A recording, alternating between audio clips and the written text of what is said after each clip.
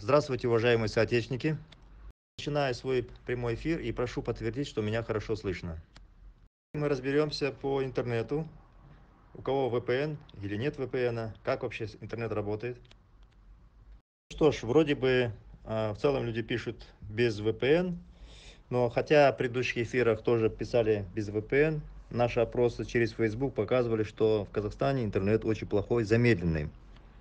В митингах 6 июля мы тоже видели, как тормозили, а, замедляли интернет. Мы потеряли связь с Астаной, когда шли митинги. А, замедлялся интернет и в Алматы, Шимкенте, во многих городах замедлялся интернет, когда вот именно шел а, период проведения нами митинга. Мы провели митинг по Казахстану в субботу, 6 июля. А в воскресенье я не проводил э, финальный обычно анализ мы проводим. Просто рассудил, что в воскресенье все равно э, большинство людей где-то отдыхает, э, не дома, у кого-то интернет плохой, поэтому, поэтому решил перенести э, обсуждение итогов митинга на понедельник. А, ну что ж, друзья, я знаю, что у многих настроение было не очень, и эта пауза, я думаю, была полезной для того, чтобы осмыслить а, на самом деле, где мы находимся. Видел, что очень многие а, критически относились, э, собственно, и к своей стране. Кто-то говорил, что все, я уеду из страны и все прочее и так далее. Ну, давайте мы сейчас, как в любом деле, будем анализировать, спокойно рассуждать, причем трезво. Многие э, наши сторонники э, настроились так, что именно 6 июля произойдет смена режима. Но понятно, что я по этому поводу всегда говорил, что любой митинг, любую акцию протеста мы должны его выкладываться по максимуму, настраиваться, что именно эта акция, именно этот протест будет развернут так, чтобы мы добились главной нашей цели – смены политического режима. На самом деле всегда надо иметь в виду, что ну, большого такого прорыва не может быть единоразово быть, а, что ну, если народ, что называется, 30 лет спал, за какие-то короткие сроки, буквально несколько месяцев, наверное, а, ну, нереально сломать режим нереально. Хотя мы, конечно, агитационную работу уже ведем а, больше, чуть больше двух лет. Но наиболее активно, именно активно через чат активист ДВК, именно активные действия мы начали с прошлого года. Вижу, что э, предыдущие эфиры очень плохо слушали. Предыдущие э, не только эфиры, мы каждый митинг тщательно обговариваем. И сегодня я хотел бы ряд вопросов охватить, чтобы еще раз подчеркнуть нашу позицию. Она была правильной, мы действовали правильно. И вот даже по комментариям я вижу, что давайте в одном городе, в Астане. Этот человек, который написал, он не слушал предыдущие эфиры, не слушал аргументы. И вся причина, скажем, э, в том, что мы не можем добиться успеха быстро, связана с тем, что существует разнобой разные взгляды, разные понимания, разная активность. Более того, некоторые люди считают, что можно подбежать, 15 минут поговорить, и сразу тысячи людей побегут, и сразу в один день мы можем сменить режим. То есть это такой поверхностный подход. Я могу сказать, что строительство дома длится год или годами, рождение ребенка 9 месяцев. А не говоря там, чтобы, чтобы ребенок родился, нужно еще много-много перед этим сделать действие, да, вот, познакомиться, найти, а, построить семью, это целый процесс. А построить государство, сменить политический режим, очень многие думают, раз, собрались за 15 минут, раз, все поменялось. Это очень так э, поверхностный подход. Я вижу, а, сейчас идут вопросы, почему Мухтар не приезжает. Вот если бы он приехал, то тогда мы победили бы. Это просто говорит о том, что люди абсолютно не подготовленные, не слушали предыдущие эфиры, не читали мои посты, не слушали прямые эфиры. они, наверное, не знают, что я осужден в Казахстане пожизненно. Они, наверное, не понимают и не знают, что э, для того, чтобы я приехал э, и не был убит, арестован, нужна большая масса протестующих. А предыдущие митинги показывают, что число протестующих растет, но не то, но не то самое количество, которое действительно бы давало возможность мне прилететь и создавать временное правительство. То есть вот все эти фразы говорят о том, что люди абсолютно не подготовлены э, вот к тем будущим изменениям. Когда мы будем реально подготовлены, образованы, будем знать, как действовать, и более того, не только подготовлены, но и будем действовать, создавать ячейки и все прочее, только тогда будут изменения. Ничего просто так не будет. И прежде чем делать анализ, я какие-то вещи хотел бы вам напомнить. А, я говорил все время, что необходимо для смен режима 3,5-5% от общей численности населения людей, которые участвуют в протестах. 3,5% от чуть более 18 миллионов – это более 500 тысяч человек, а 5% – это около 1 миллиона. То есть только тогда, когда мы будем в состоянии вывести на площади нашей страны от полумиллиона до миллиона человек – только тогда мы можем быть уверены, что режим сменится. Представьте, что на наших митингах ну, собирается, наверное, в двух городах. Алматы и Астане. Ну, в Астане может быть 7-8 тысяч. Ну, в Алмате, может быть, было там несколько тысяч. Но, может быть, их было и больше, судя по всему. То есть, может быть, суммарно было в двух городах 20 тысяч. Но проблема в том, что большое количество людей просто не дошло до место проведения митинга. Во-первых, мы обозначали время, а протестующие, которые хотели прийти на митинг, как минимум на полчаса, на час опаздывали. Это первая проблема. Вторая, то, что какая-то часть не могла попасть к местам проведения митинга, там стояла полиция, они разворачивались, и вместо того, чтобы пытаться пробиться к месту проведения митинга, они просто разворачивались и уходили, или просто сидели на скамеечке вдали от места проведения митинга. То есть те самые полмиллиона, миллион человек мы никогда не собирали, не собирали. Притом я говорил, что их надо собирать по всему Казахстану. Объяснял, почему нужно по всему Казахстану. Вот сейчас звучал вопрос, а может быть мы сделаем только в Астане? Но я приводил пример, объяснял, мировой пример – показывал, что мы должны сделать обязательно по всему Казахстану. И при этом это приводит к тому, что местные полицейские силы вынуждены остаться в этом населенном пункте, например, в Павлодаре, а, в Караганде, а, в Таразе и так далее. И тогда у режима нет возможности мобилизовать эти силы, привести их в Алмату и Астану, добиться большой численности полицейских и таким образом задавить действия протестующих. Я это много раз объяснял, почему нужно проводить митинги одновременно по всей стране, а не отдельно взятом городе. Объяснял, что в одном городе, только в Астане, живет более миллиона человек. И наша задача просто 5% из этого города, чтобы вышли на протест, это 50 тысяч человек. То есть задел огромный. Мы там вывели это всего лишь 9 июня, ну, тысяч, может быть, 10, да? Но у нас задача же вывести 50. Зачем привозить из регионов тысячи и тысячи людей, если они есть прямо в Астане? Далее, посмотрите. Но представьте себе, кто-то говорит, казалось бы, правильные идеи. Надо привезти из регионов. Как вы привезете? У людей нет денег. У людей нет денег, тогда кто-то им должен дать. А кто? Допустим, это Мухтар Аблязов.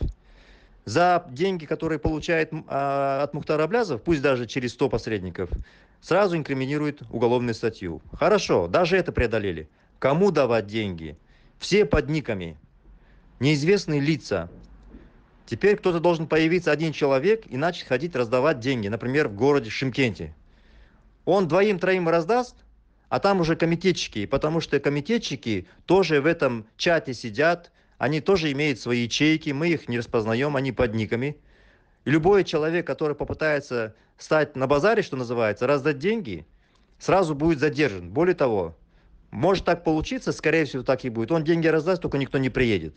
Поэтому предложение, чтобы кто-то приехал из регионов, это бессмысленное предложение. А потом, а как вы будете контролировать, что эти люди приехали, доехали? Этих людей вы должны лично знать, доверять. Ну, что, ну представьте себе, вот в Астане нам нужно 50 тысяч человек. Вот мы, допустим, 10 тысяч собрали из Астаны. Нам нужно 40 тысяч со всей страны привезти. Как вы себе представляете, 40 тысяч привезти со всей страны, раздать им деньги? Притом люди с никами неизвестные, даже если попытается, их просто тех людей, которые будут раздавать, просто арестуют, деньги конфискуют. То есть, ну, люди просто какие-то фантастические вещи говорят, которые в принципе нереализуемые. Ну зачем все это делать, когда минимум усилий нужно организовывать протесты, объединяться, сделать в своем городе? В Алмате отдельно, в Астане отдельно. В Алмате живет 2 миллиона человек. И нужно просто добиться агитации 3,5%, 5% активных людей. Это от 70 до 100 тысяч человек. Зачем вести из каких-то соседних городов за тысячи километров, когда проще, чтобы эти люди, которые в этом же городе проживают, пришли на эти митинги. То есть, понимаете, каждый раз, каждый раз мы о чем-то говорим, каждый раз мы о чем-то говорим, объясняем, почему в одном городе нельзя сделать, что это невозможно, что нужно делать во всей стране, каждый раз идут, раз идут предложения, давайте сделаем в одном городе. То есть, ну, ребята, я говорил, для того, чтобы победить этот режим, мы должны быть сильнее их, мы должны сильнее быть а, своей организацией, своей подготовкой, первое. Мы должны взаимодействовать, у нас должна быть дисциплина. Мы должны иметь для этого ячейки. Ячейки каждый в отдельности, а, от трех до пяти человек. Не должны общаться с соседней ячейкой, потому что соседняя ячейка может оказаться КНБшной.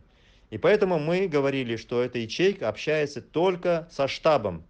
Тогда каждая ячейка общается со штабом и не зная соседнюю ячейку, и эти ячейки перемещаются по команде штаба в то или иное место, делают те или иные действия, но при этом соседняя ячейка не может ее сдать, узнать, потому что у этой соседней ячейки будет поставлена другая задача.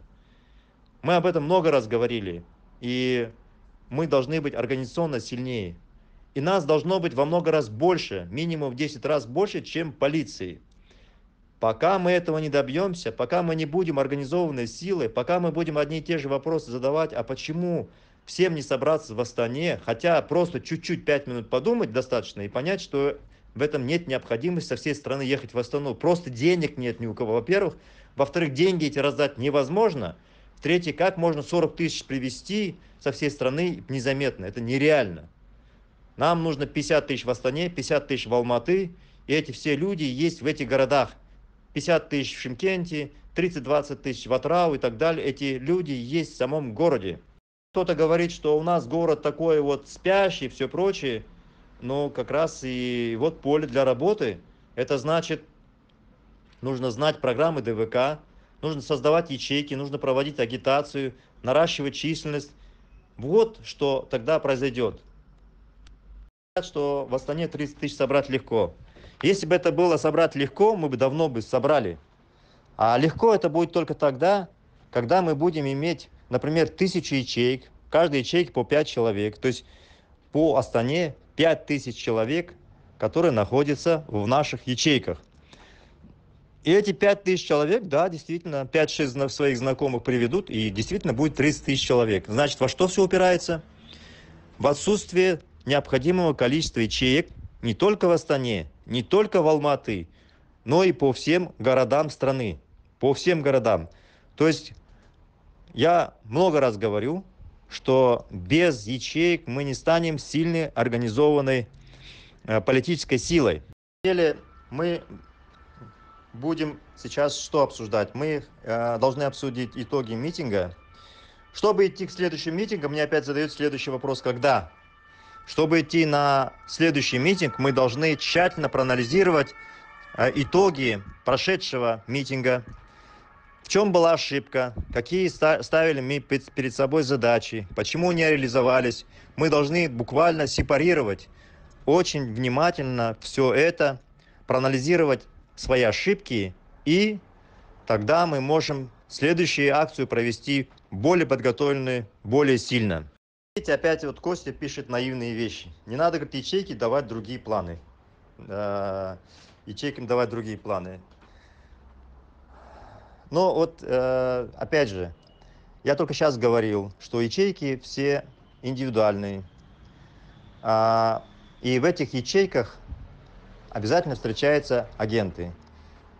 Если мы будем давать э, объединяться этими ячейками, знакомиться между собой, даже объединять планы, указывать единую точку, ну, например, мы скажем э, 10 ячейкам или всем ячейкам прийти на такое-то место. А, ну, они все придут, но там же уже будет стоять полиция, потому что среди тех ячеек, которые а, сейчас существуют, обязательно одна или две ячейки комитетовские. Если мы всем дадим одинаковые задачи, то какой смысл прятаться? Тогда проще сказать, все, приходите на такую-то улицу, такое-то место во столько времени. Потому что то, что знает 10 человек, это знают все. Потому что среди вот этих ячеек обязательно, обязательно будут агенты. Это мы уже сто раз убеждались. Говорят, только сейчас я сказал, говорит, надо с региона подтянуть людей. Как с региона подтянуть людей? Нужны машины, автобусы. Люди должны иметь деньги, чтобы приехать потом жить в этом городе. Кто их снабдит деньгами? Для того, чтобы был эффект э, успешный митинг, нужно минимум 20 тысяч, 10 тысяч привести. В основном вообще 40 тысяч надо привести. Как они приедут из регионов? Кто им раздаст деньги? Вы просто подумайте. Я же только сейчас рассказывал, что достаточно этому человеку появиться, что он будет на улице каждого ловить прохожему, деньги раздавать, что ли? У нас ячейки не идентифицированы. Придется скажет, я ячейка А, дай мне такой-то, такие-то деньги. Ты ему дал, и все, он взял деньги и пропал. Вот. Это не получится, ребята. В каждом населенном пункте должны быть свои активисты. Вот в Алмате должны быть свои активисты. А в Караганде свои в Астане свои.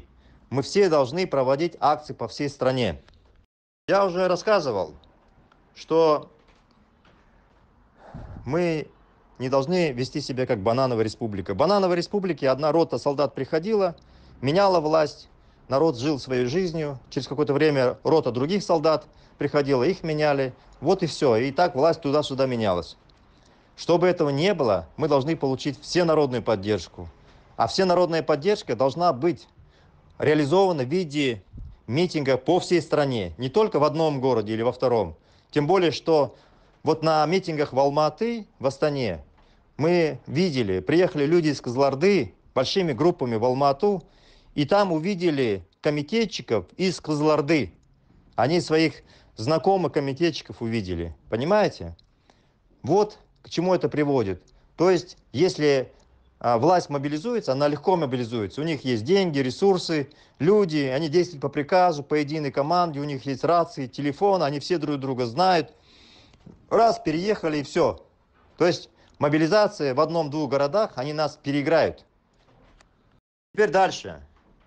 Жанна там детали все расскажет, я вам скажу принципиальные вещи. Принципиальные вещи следующие. Это опять же люди не понимают, что такое ячейки, не понимают, что в этих ячейках есть комитетчики. Мы об этом постоянно говорим, но меня удивляют, мне, а, когда идут те предложения, то люди просто не понимают, что у нас в ячейках обязательно есть комитетчики, что мы скрыть информацию не можем. В реальности мы не сможем. Если якобы а, точки сбора там в трех-пяти местах, как предлагают, то эти 3-5 места Э, полиция будет знать, потому что в наших рядах обязательно есть комитетчики. Опять человек предлагает, говорит, надо, говорить с регионов, Сталдугурган, я, говорит, видел. Я же только сейчас объяснял, что также и власть подтягивает с регионов людей, а, имеется в виду полицию и комитетчиков, что нужно их связывать, нужно их там на месте консервировать, нужно на месте проводить митинги. С региона приедет, ну, 20 человек, ну, 100 человек, это вообще ничего. А нам в каждом городе нужно выводить по 50 тысяч человек. Вы же не сможете 30 тысяч, 40 тысяч привести. Ну, приедет 100 человек, ну, 200. Они никакую погоду не сделают. Нам нужно в этих городах тысячи. А тысячи могут только быть те, кто живет в этом городе. 100 человек, 200 человек, которые приедут, они вообще никакой погоды не сделают. Никак не повлияют. Нам нужны тысячи, а тысячи мы не сможем привести. Вот здесь говорят, что нужно не деньги раздавать, агитации проводить с регионом. Но это же ваша и работа. Это же работа как раз наших активистов. Мы для этих целей создали чат, чтобы наши активисты, сторонники проводили работу. Мы должны добиться, чтобы наш чат вот сейчас здесь вырос до 100 тысяч. Вот представьте себе, да? Это же не на митинг выходить, а нужно просто убедить своих знакомых, рассказать их программах ДВК, и чтобы они зашли в чат через Телеграм. Это не на митинг идти, это не с полицией бороться. Это очень простое действие. И вот представьте, мы сейчас застряли уже месяц на 40 чем-то тысяч, стоим мертвую, даже было 45, упали вниз. Если мы не можем даже свой чат пополнить, то о какой работе можно вести агитационной в регионе, если просто дистанционно, не просто механически включить, подсоединить, а именно просто найти друзей, знакомых, близким, которых вы доверяете, просто привести в чат, когда вы добьетесь этого шага, тогда считайте, вы уже сделали свой вклад в наше дело. Теперь мне говорят, а давайте в трех-четырех местах объявим э, среди ячеек. Дадим одно, второе, третье место. Ну вот, допустим, у нас в Алматы 100 ячеек. Мы 100 ячейкам дают первое место. И если первое место, вдруг там стоят полицейские, они знают, что надо идти на второе. Если во втором идут, то и уходят на третье место. Ребята, ну вы поймите, когда у нас 100 ячеек, то есть где-то, грубо говоря, 500 человек, и мы им даем три места, но вы же должны понимать, что в этих ячейках обязательно есть комитетчики. В каждом, в новом назначенном месте обязательно там будет стоять полицейский. Обязательно. То есть секрет не получится. Мы как-то можем отдельные какие-то небольшие группы, которые мы проверили, знаем, ячейки, с ними работать и быть уверенным, что от них не будет утечка. Но принципиально, с учетом того, что ячейки у нас только-только не очень большое количество существует, и что среди них обязательно существуют э, ячейки из комитета, утечка информации, где мы будем проводить, местоположение будет известно. Мы никогда не сможем из него сделать секрет. Да, это можно будет сделать когда действительно ячейка хорошая, когда она работает со штабом, когда штаб знает их лично, когда штаб э, дает им какие-то задания, и эта ячейка, выполняя эти задания, показывает себя лично в деле, тогда мы знаем, что этой ячейке можно доверять, что эти люди нас не подведут. Мы будем знать, что они не комитетовские. Механизмы, как определить, это много существует. То есть ячейка должна быть активная. Не просто ячейка, что она вот есть, я создал ячейку, три человека или пять человек объявились. Эти ячейки должны быть активными, расклеивать листовки, какие-то акции проводить. Это все нужно делать со штабом. Сейчас мы будем усиливать а, и количественно, и качественно работу штаба. Сейчас там а, зайдет команда людей. Здесь а, С говорит, почему вы, говорит, сами говорит, ничего не делаете?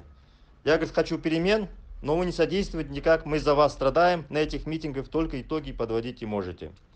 То есть я так понимаю, что наша работа по организации чата, сами рекламные ролики, саму организации темы, сбор людей, прямые эфиры, там миллион действий, да, даже работа с этими ячейками, оказывается, мы ничего не делаем.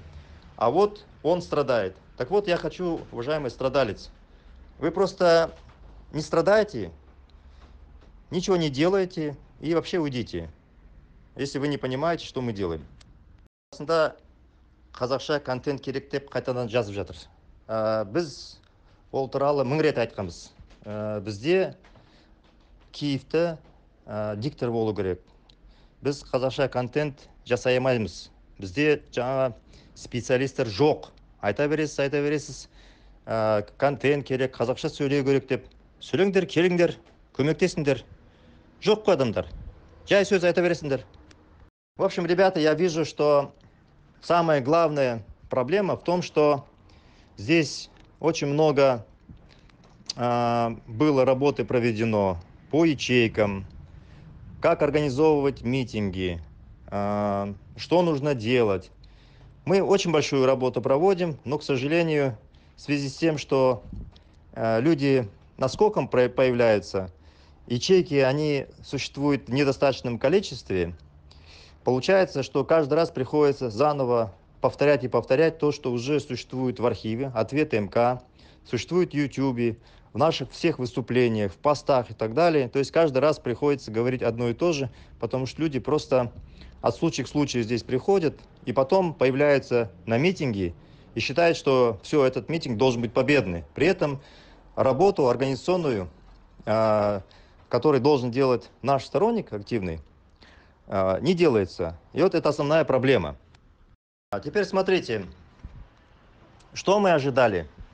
Многие из вас ожидали, что 6 числа будет действительно тысячи. Эти тысячи были, они были в Алматы и в Астане, но их не было в регионах. Там были десятки, единицы и так далее. Но в Алмате и Астане эти тысячи были. Жажана будет комментировать, а мы поймем об этих тысячах. Опять мне совет, ищите сторонников среди власти. Ну, сходите к Назарбаеву, попытайтесь его говорить, что он перешел на нашу сторону. Вот. Здесь действительно какие-то странные предложения идут. Итак, значит, э, в Алмате и в Астане были тысячи, но тысячи это условная цифра. Мы говорили о том, что в Алмате и в Астане для того, чтобы там добиться успеха, 3,5-5% должно быть на митингах.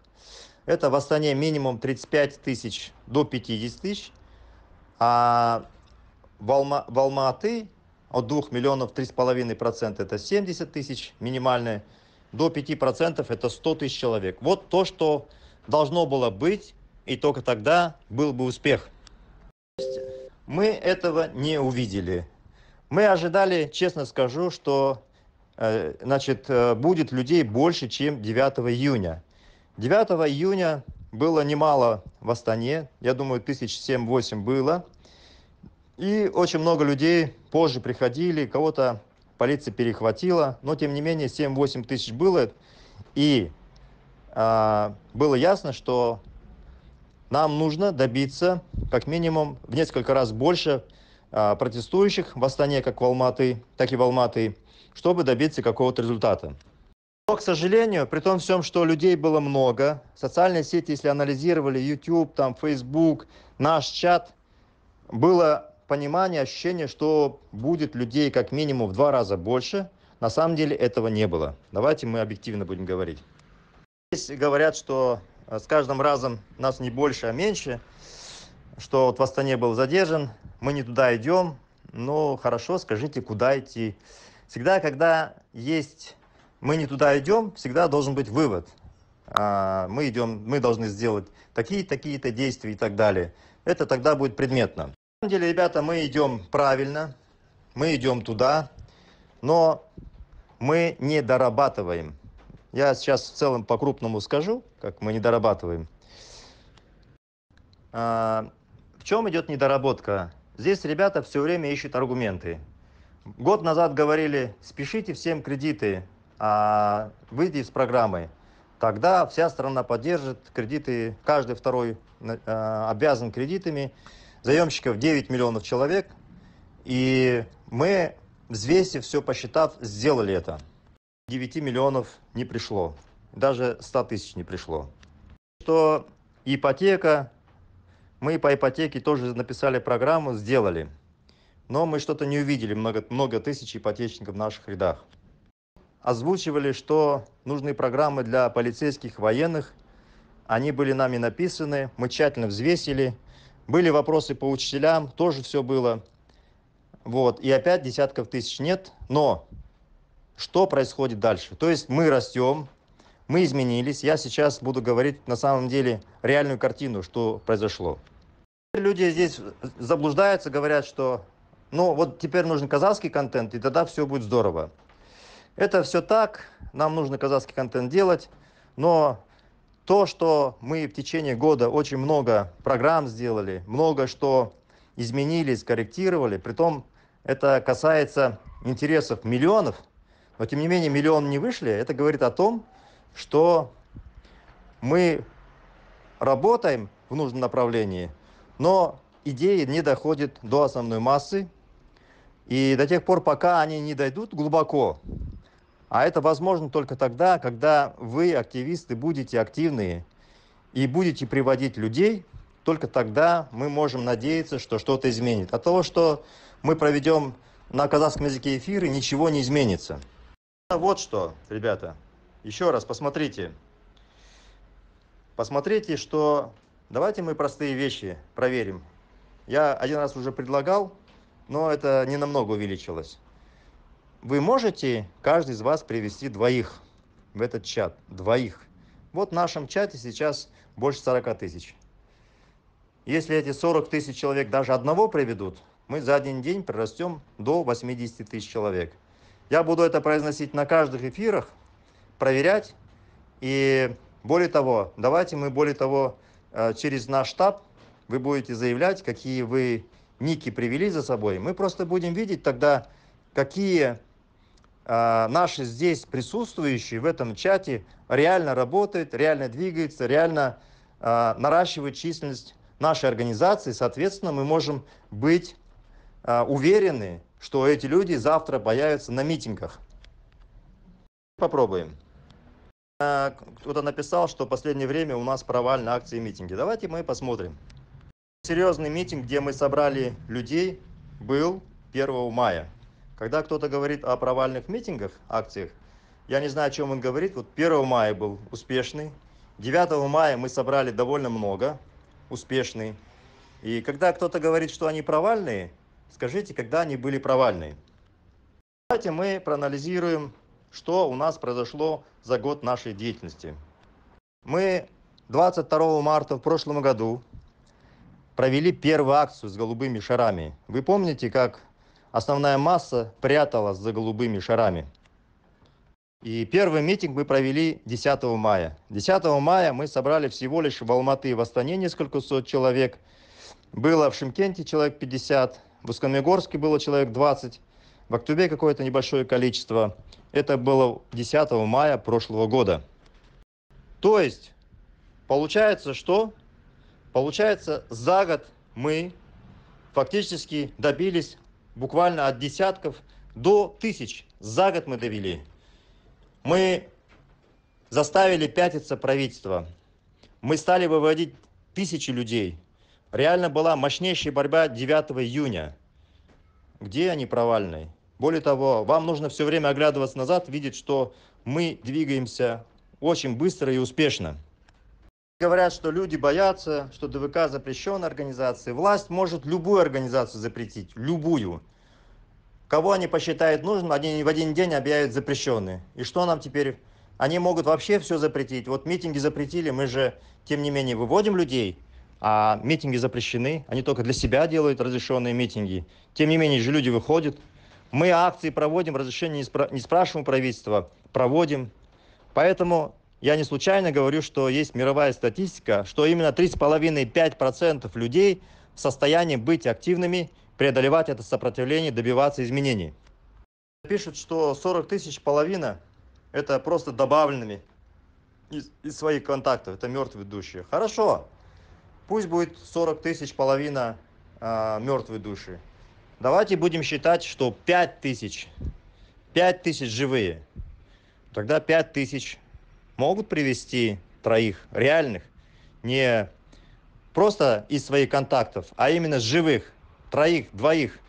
Если вы достигнете вот этой задачи за одну неделю, приведете двоих-троих, значит наш чат прирастет на 10 или 15 тысяч человек за одну неделю. Если вы в состоянии двоих, троих привести в чат, то есть мы же их не на митинг зовем, а просто в чат, быть участниками, слушать, тогда следующий этап, завтра эти люди потенциально могут прийти на наши митинги. Но если вы не сможете привести двоих-троих, реально привести, не просто добавить, то тогда не удивляйтесь, что на митингах нет десятков тысяч людей. Э, здесь это чат для наших сторонников, который разделяет наши программы и задачи, которые здесь двигаются, создают ячейки и все прочее. Если здесь кто-то хочет нас поливать, то лучше им идти на хабар. Админы будут их просто удалять. И это отношение никакого не имеет к свободе слова, все прочее. Мы являемся политической организацией, и здесь находятся те люди, которые разделяют наши цели и задачи, и вместе с нами действуют говорят, что смешные вещи. Нужно, чтобы, говорит, заранее о митингах не знали менты. Но если менты не будут заранее знать, то как интересно будут знать наши сторонники. Мы хотим вывести в Алматы, например, 50 тысяч человек, в Астане 50 тысяч человек. Мы что, каждому в ухо шепотом будем говорить? Это какое нужно у нас иметь 50 тысяч э, в Алматы, ячеек, людей. У нас с каждым должен быть контакт, и мы должны на ушко ему шепнуть, чтобы другой не знал о дате. Первое. Второе. Вы прекрасно знаете, что в этих ячейках обязательно есть ячейка Комитет национальной безопасности. Достаточно одной ячейки сообщить дату, она станет известна всем. Поэтому, ребята, не говорите наивные вещи, мы не должны сообщать. Ну хорошо, не сообщили. А как наши сторонники узнают, что будет митинг? Каким образом? За один час до начала митинга? Но у власти есть рации. Они через 15 минут будут на этом месте. А мы тут месяц даем рекламу, объясняем, и за два часа до митинга пишут, а где будет митинг? Ну, какие-то наивные комментарии. Вам скажу основное, основной вывод. Вот надо, говорит, решать вопрос с местом. Если место блокирует, что дальше делать? Ребята, это вот Костя пишет. Все не имеет значения, где место, не имеет значения время, не имеет значения широкое там место, узкое место и так далее. Вообще не имеет места при одном обстоятельстве – когда мы собираем 3-5% от численности населения людей, вот в Алматы, представьте, мы собираем 3,5-5%, то есть 70-100 тысяч человек. Мы говорим, например, центральный стадион. Максимум, что может выставить полиция, ну 5 тысяч человек. Это они еще умрут, что называется, оголят всю страну, да? В одной, если везде, но вообще не смогут привести полиции. Мы же говорим, нужно митинги везде проводить одновременно. Так вот, максимум они 5 тысяч соберут.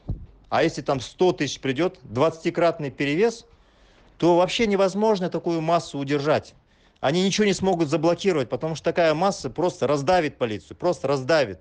Поэтому, когда вы говорите, надо было в том месте, в другом, в таком переулке, там так двигаться, так, это все не работает, когда э, количество малое относительно полиции. Когда будет большая масса, тогда полиция ничего не может сделать. Вот основное, чего нам нужно добиваться. Вот чего у нас не хватает. Да, в Алматы, в Астане было там тысячи, были, согласен. Но их не было десятков тысяч. Если было, было десятки тысяч, у них ни автобусов не хватило бы, ни полицейских не хватило. Вообще никаких сил не хватило бы людей отлавливать и затаскивать их в автобусы проблема. Вот в чем причина. Только мы будем в состоянии набирать большую массу, тогда не имеет значения, на каком переулке, с каких местах мы собираемся, потому что эта масса будет идти гигантской волной, ее невозможно остановить будет никакими полицейскими, никакими.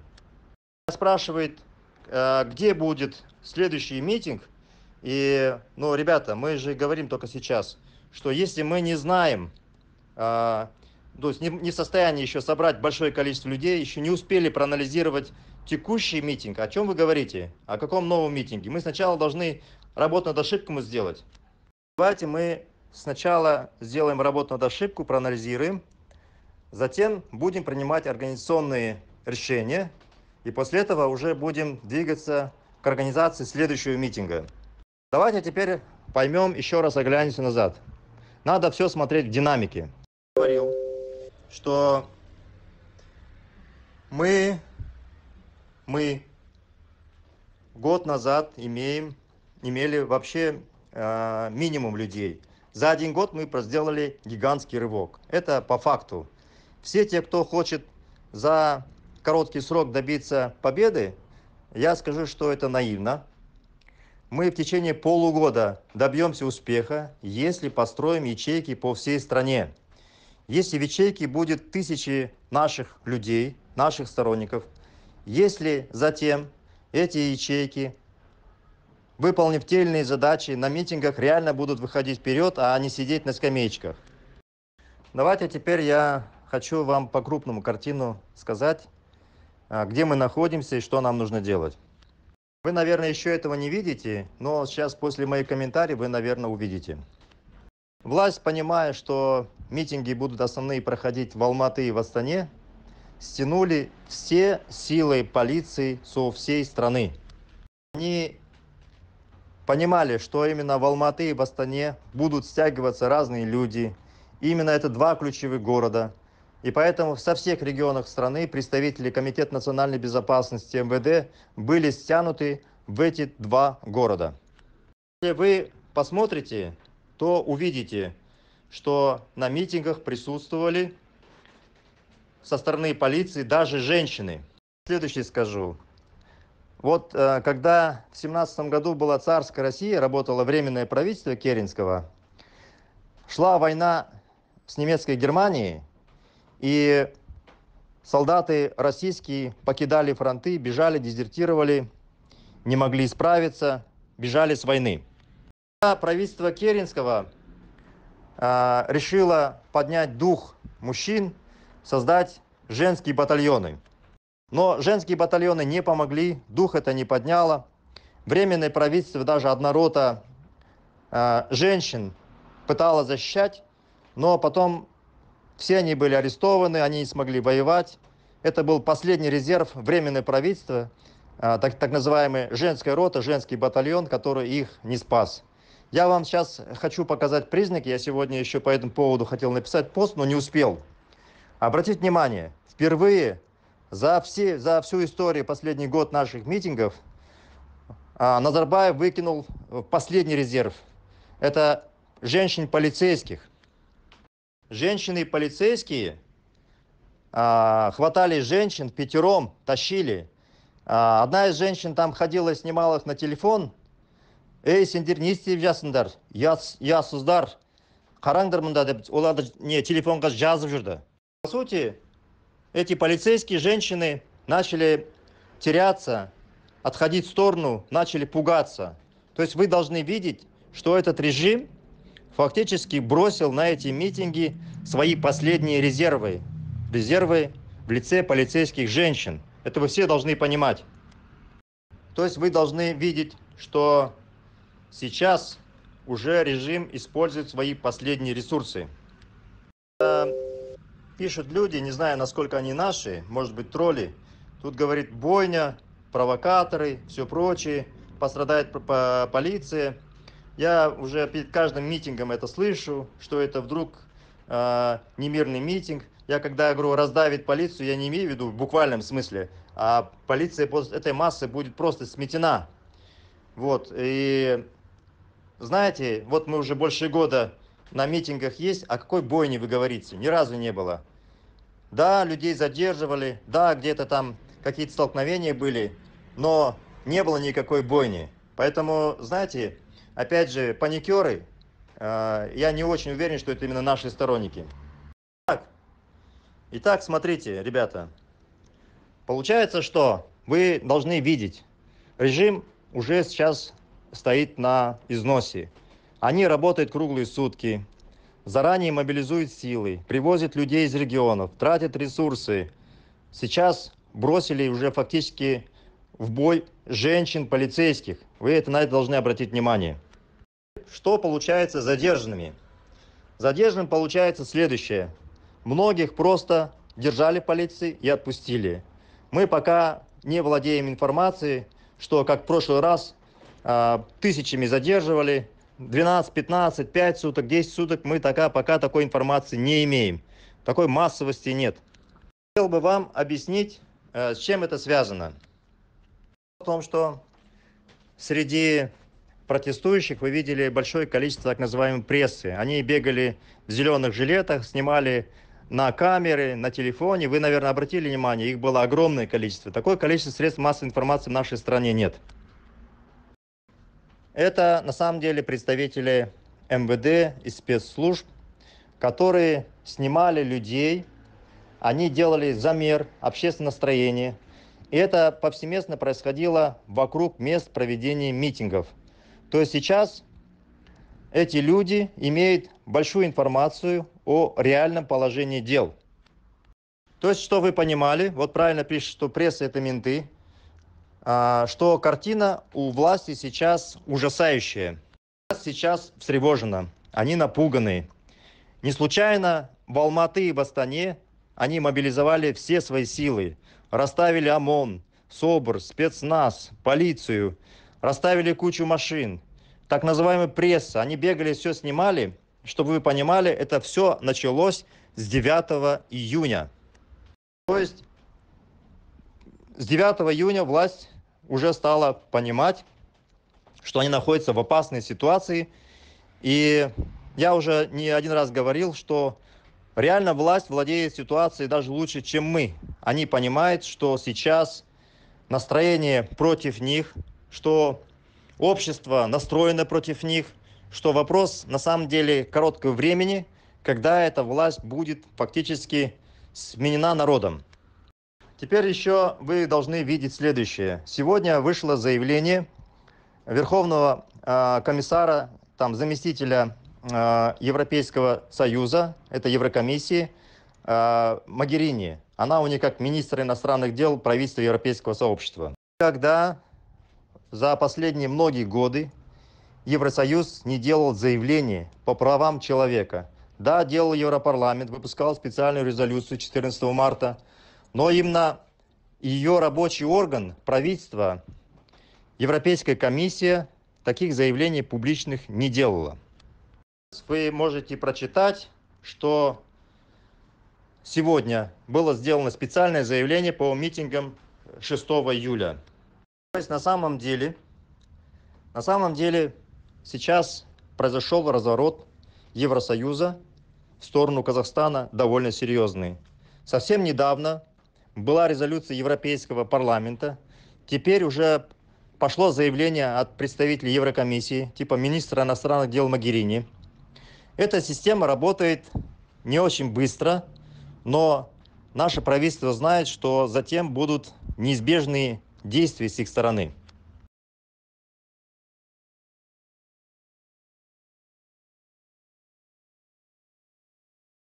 Обратить внимание, что очень много в прессе идет информации по Дарье Назарбаевой, по ее сыну, наркоману, который сейчас а, принудительно отправлен на лечение а, как наркомана, по ее арестам счетов, там по Австрии идут а, разоблачительные статьи.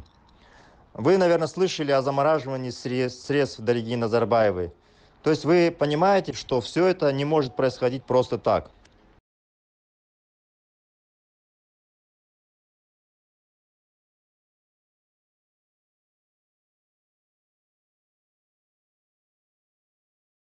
Сейчас идет разворот Евросоюза против высшего руководства страны.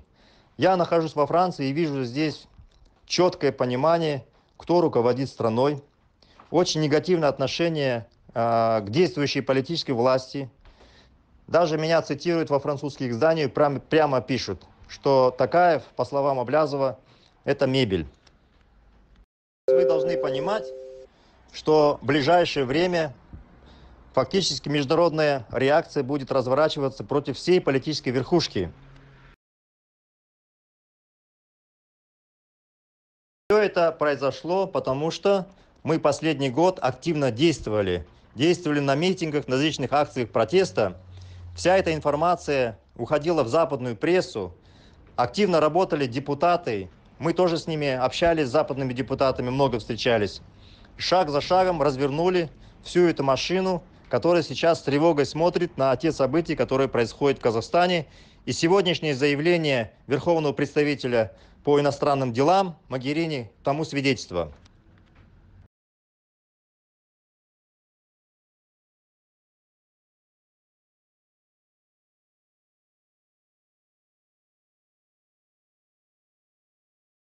Поэтому сейчас власть будет очень осторожна.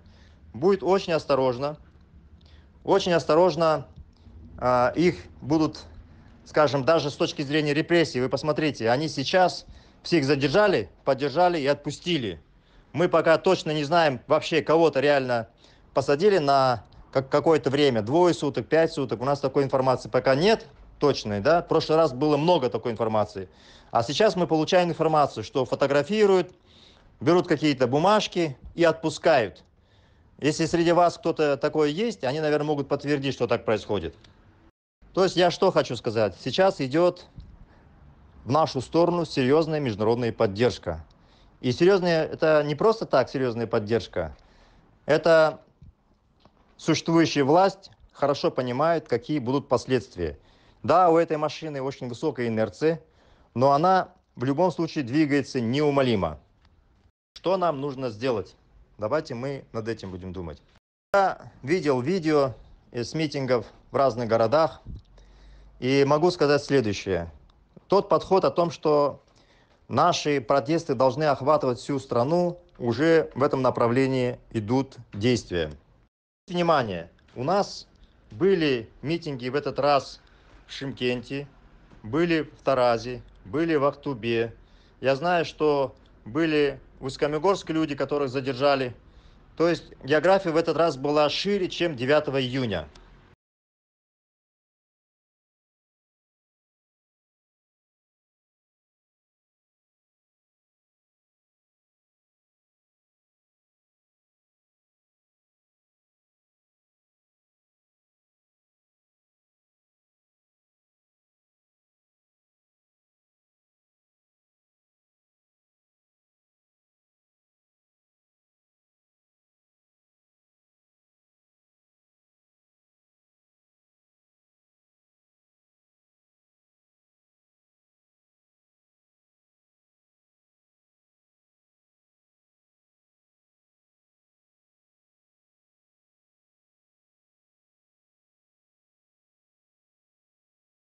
Хочу ответить на вопрос. Тут мне говорят, а, отдельные внезапные митинги типа арыстов надо поддерживать. Ребята, арысты выходили в Шимкенте, в Шимкенте. Даже если их поддержать, то наши активисты должны были ехать из Алматы, из э, Астаны, например, да, а, где реально есть активные люди, ну, приехало бы в лучшем случае 50 человек, может 100.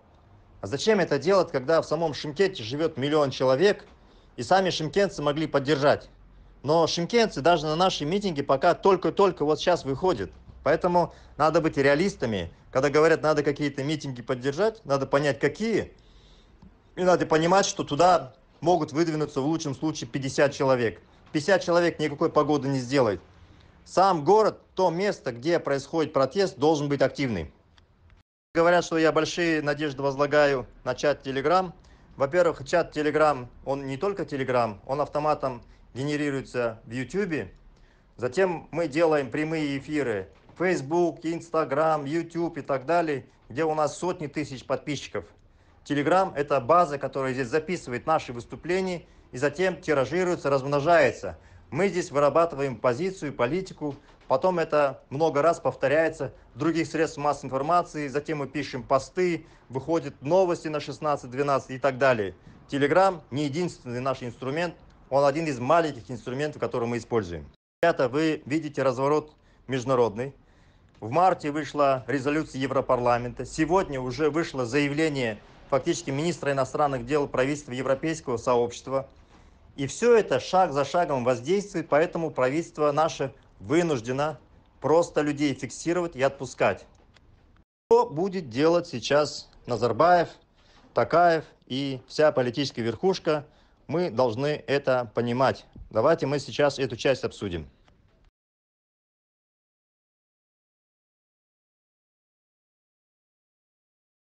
Сейчас так сложилось, что мы стали единственной политической силой нашей страны, которая влияет на политические решения нашей страны, влияет на всю политическую верхушку, влияет на курс, влияет на все. Вы понимаете, мобилизация всех силовых структур, внутренних сил, внутренних дел, Министерства внутренних дел, а, КНБ, внутренние войска, прокуратура, то есть все силовые службы были мобилизованы на наши действия 6 июля. Хочу вам сказать, что 6 июля день рождения Назарбаева, как он хотел, уже не получился. Фактически произошел коренной перелом сознания нашего народа. Надо понимать, это большая трещина, теперь которая будет разъезжаться, расширяться, и проблемы этого режима будут только нарастать, и мы должны этому помочь. За 30 лет правления Назарбаева, как вы понимаете, у него на 6 июля никогда не было проблем, никогда.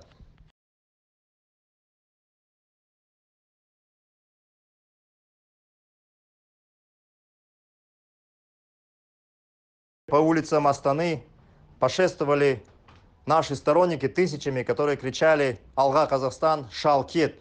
И это было то же самое в Алматы. Это было 6 июля.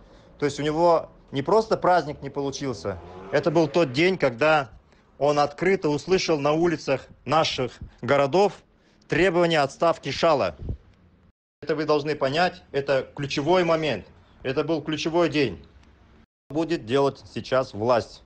И она будет делать эти действия только потому, что мы активно действуем, и существует такая политическая сила, демократический выбор Казахстана. Я сейчас говорю, вы увидите пошагово, как это будет происходить. Сейчас власть, получив тотальную такую широкую информацию, 9 июня и 10 и другие даты, задержав более 5000 человек, теперь напугана.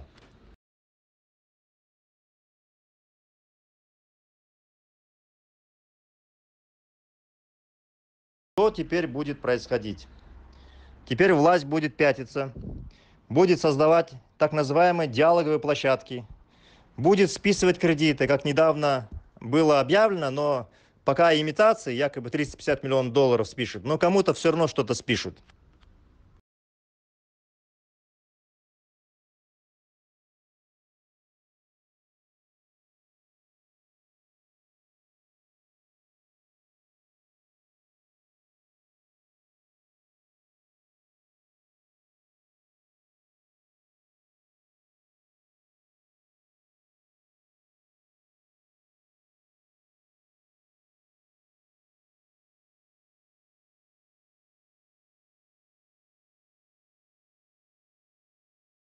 Имитировать а, близость к обществу, будут проводить митинги свои, нуратановские.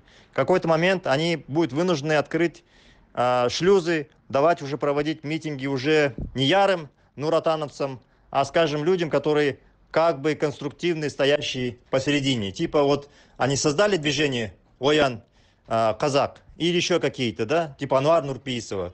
Вот такие движения начнут сейчас появляться, они будут там давать разрешение проводить митинги, и они будут говорить, что Такаев не такой уж плохой парень, давайте с ним сотрудничать, давайте конструктивно будем менять ситуацию в стране. Одним словом, сейчас мы будем наблюдать за такими действиями а, лихорадочными со стороны Назарбаева Такаева, которые будут направлены на то, чтобы сбить протестный накал в стране.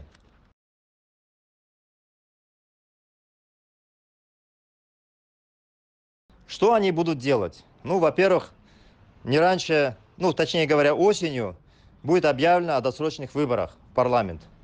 Они должны были это сделать раньше. Недавно было совместное заседание палат парламента, но они, они в последний момент отменили. Отменили досрочные выборы, потому что поняли, что если они будут создавать партию для Хосанова, то Касанов, по-моему, был оплеван всей страной, то этот вариант у них сейчас не работает. Во всяком случае, если они Касанова будут использовать, они хотят использовать это позже. То есть сейчас получается, если они досрочные выборы в парламент сделают, то тогда останется там та же самая Акжол и Коммунистическая народная партия Казахстана.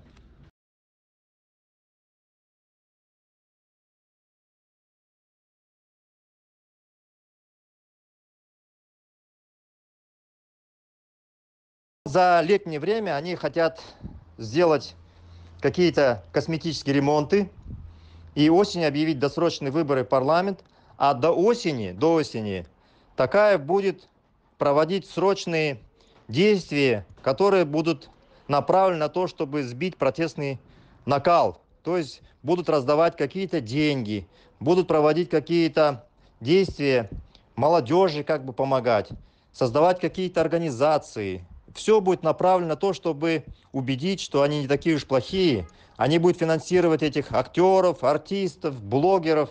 Вы сейчас увидите, что эти месяцы будут очень активными.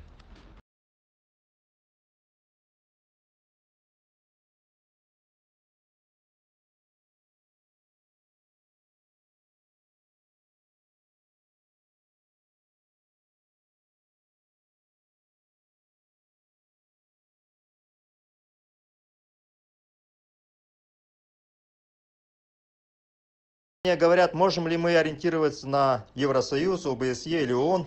Да, их решения не являются обязательными, ну, кроме Евросоюза, когда Казахстан подписал соглашение и не выполняет, то тогда, безусловно, шаг за шагом, сначала дипломатическими другими воздействиями, Казахстан заставит или принудить действовать, выполнять эти договора, или Казахстан должен отказаться от этих договоров и сказать, что эти договора она не будет исполнять. Тогда они будут аннулированы, эти договора, с разными вытекающими последствиями для страны. То есть тогда не будут инвестиции из Европы, не будут какие-то программы по возможности проникновения нашего сырья на европейские рынки. То есть там будет много-много вариантов, э, но именно как Европейский Союз, это очень влиятельная организация. Это 28 стран э, Европы, очень влиятельные, потому что торговля Казахстана идет с этими странами активными, активная, и поэтому Европейский Союз это очень влиятельная организация. Значит, что мы понимаем? Мы говорим, что сейчас наше правительство, Назарбаев, Токаев будут заигрывать с народом. Будут заигрывать именно благодаря нашей активности, благодаря проведению митингов. Без проведения митингов, без проведения наших акций, без объединения вообще эти бы процессы не пошли бы. Вы все должны это понимать. Поэтому митинги мы будем проводить, но мы будем проводить их хорошо организовавшись. То есть нам нужны ячейки, нам нужно количество сторонников. Вот здесь говорят, что у нас в чате якобы основная часть мертвые души. Ну хорошо, будем считать 5000 э, реальных. Я обращаюсь к вам с призывом, чтобы каждый из вас из 5000 привел двоих-троих, и тогда мы мгновенно прирастем на 10-15 тысяч за одну неделю. Если вы такую работу сможете сделать, значит, можно надеяться, что на следующих митингах действительно мы выведем десятки тысяч людей. Вот простой такой тест. Сейчас будем продолжать работу нашей организации. Мы ее будем строить. Мы сейчас усилим работу штаба. Мы будем разворачивать ячейки по всем регионам страны. Мы будем проводить просветительскую работу. Все так же будет, но мы теперь будем делать, усиливать нашу деятельность. Я обращаюсь к вам, чтобы вы понимали, что наскоком ничего не изменить что вот я там видел э, комментарии, что можно зайти, где большое скопление людей, полчаса с ними поговорить и сразу организовать, вывести тысячи. Это очень наивно. 30 лет спать и за 30 минут, 30 минут разбудить народ, считать, что так получится, это очень наивно. Будем сейчас вводить, проводить очень серьезную агитационную работу, и она зависит от вас, уважаемые друзья. Сейчас я хотел бы, чтобы Жанна включилась рассказала детали, как организовывался митинг, какие были ошибки, какие ячейки прокололись, что не получилось, почему не получилось, это вы все должны знать. Жанна, пожалуйста.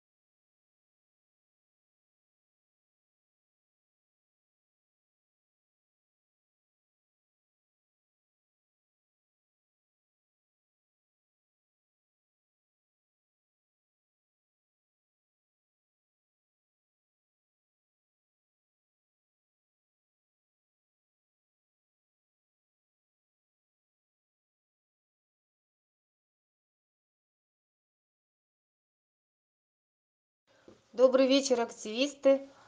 А, я хочу вас, а, так сказать, тоже сегодня с вами пообщаться о том, что произошло. Мы сделали анализ, насколько это было возможно на основании той информации, которая у нас есть. И э, на, мне тоже есть что вам сказать. И в этот раз у нас были довольно интересные события, с которыми я вам поделюсь сейчас.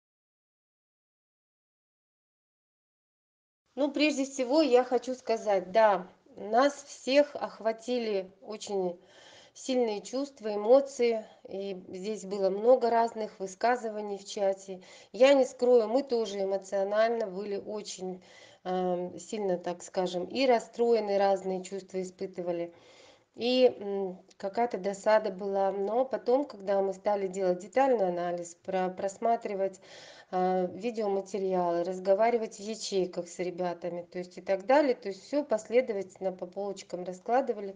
Я могу сейчас с уверенностью констатировать что действительно а, демократический выбор казахстана развивается очень быстро можно сказать стремительно. А, потому что таких больших шагов наверно очень сложно делать. Исторически вы должны понимать и помнить что тридцать лет это был диктаторский режим назарбаева сто этот семьдесят лет советской власти. И вот мы за каких-то полтора года заставили этот режим реагировать на нас всеми своими силами. Вы видели и военные и полиция и женские батальоны и тетушки и нуратановцы на нас сегодня набросили все силы и тем не менее нас больше и больше. Если мы сумели добиться с такой скоростью развития событий а, за полтора года мы сможем добиться еще большего в ближайшие месяцы. У меня появилась абсолютная убежденность в этом именно после этого митинга именно после шестого числа потому что я своими глазами на своем опыте прожила и прочувствовала те события которые были связаны именно с работой ячеек. Я настолько э, потрясена тем какая сила стоит за ячейками я настолько потрясена потенциалом наших ячеек и я понимаю что до тех пор пока мы это не сделаем пока мы не разовьем эту сеть а это абсолютно реально и это мы можем сделать всего за два месяца если не быстрее а, то все будет в наших руках и следующий митинг он покажет себя сразу в полной силе. В этот раз мы предприняли некоторые шаги я вам о них расскажу. А, здесь в чате некоторые в этом участвовали и знают что я а, то что я сейчас расскажу это были участники событий. И вы поймете насколько важно иметь организованные дисциплинированные и активные ячейки. Активные в данном случае ключевое слово. В Алматы и в Астане были назначены сторонние места, где накапливались люди, и эти люди должны были выйти э, шествием в сторону основного места событий. И благодаря этому шествию они должны были накопить большое количество людей и зайти к стадиону в Алматы таким образом, чтобы уже было много людей, была заблокирована улица Абая и э, добиться слияния большого. Таким образом людям не пришлось бы там стоять и по одному накапливаться и так далее. План был правильный. Более того нам удалось этот план реализовать. А, у нас не произошла утечка на этапе подготовки. Утечка произошла чуть позже и это говорит о том что такие возможности у нас есть и такие планы мы можем осуществлять. Несколько ячеек собралось на атакенте. Люди приехали настолько подготовленные что вот лично для меня это было большим итогом и большим событием то как люди готовились привезли транспаранты и прочие там барабаны все все абсолютно все что мы планировали все было подготовлено люди приехали с заготовленными лозунгами с большими бумбоксами колонками. То есть все что нужно было сделать они приготовили. И теперь внимание ошибка. Какую ошибку допустили наши ребята и почему все пошло не так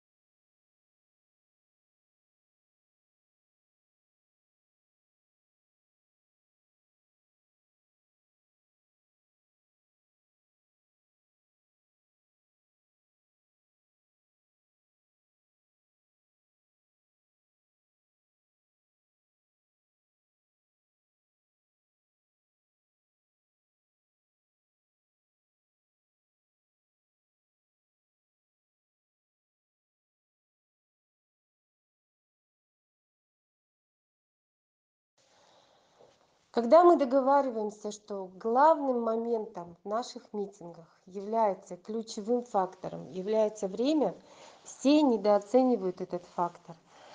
Все относятся к этому моменту достаточно легкомысленно и оставляют за собой право немножко подождать. Это становится большим уроном для всего мероприятия.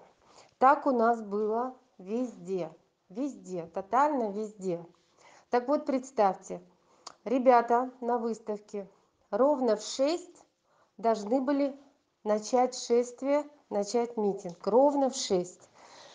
Это оговаривалось безоговорочно но в шесть они не начали. И что произошло? Та основная ячейка которая должна была стартовать в шесть она замешкалась не смогла и люди которые ходили по выставке которых мы собирали тщательно их там было сотни. Они разбрелись и в итоге побежали в сторону стадиона боясь что так ничего не начнётся и на выставке. И вот с этого момента я хочу сказать начинаются все наши с вами проблемы. Прошу вот сейчас прекратить вот это вот выкладывание в бесконечном формате сообщений которые вот даже меня отвлекают не говоря уже обо всех остальных. Я сейчас транслирую очень важные вещи которые вы должны услышать. Это важно чтобы вы их услышали ребят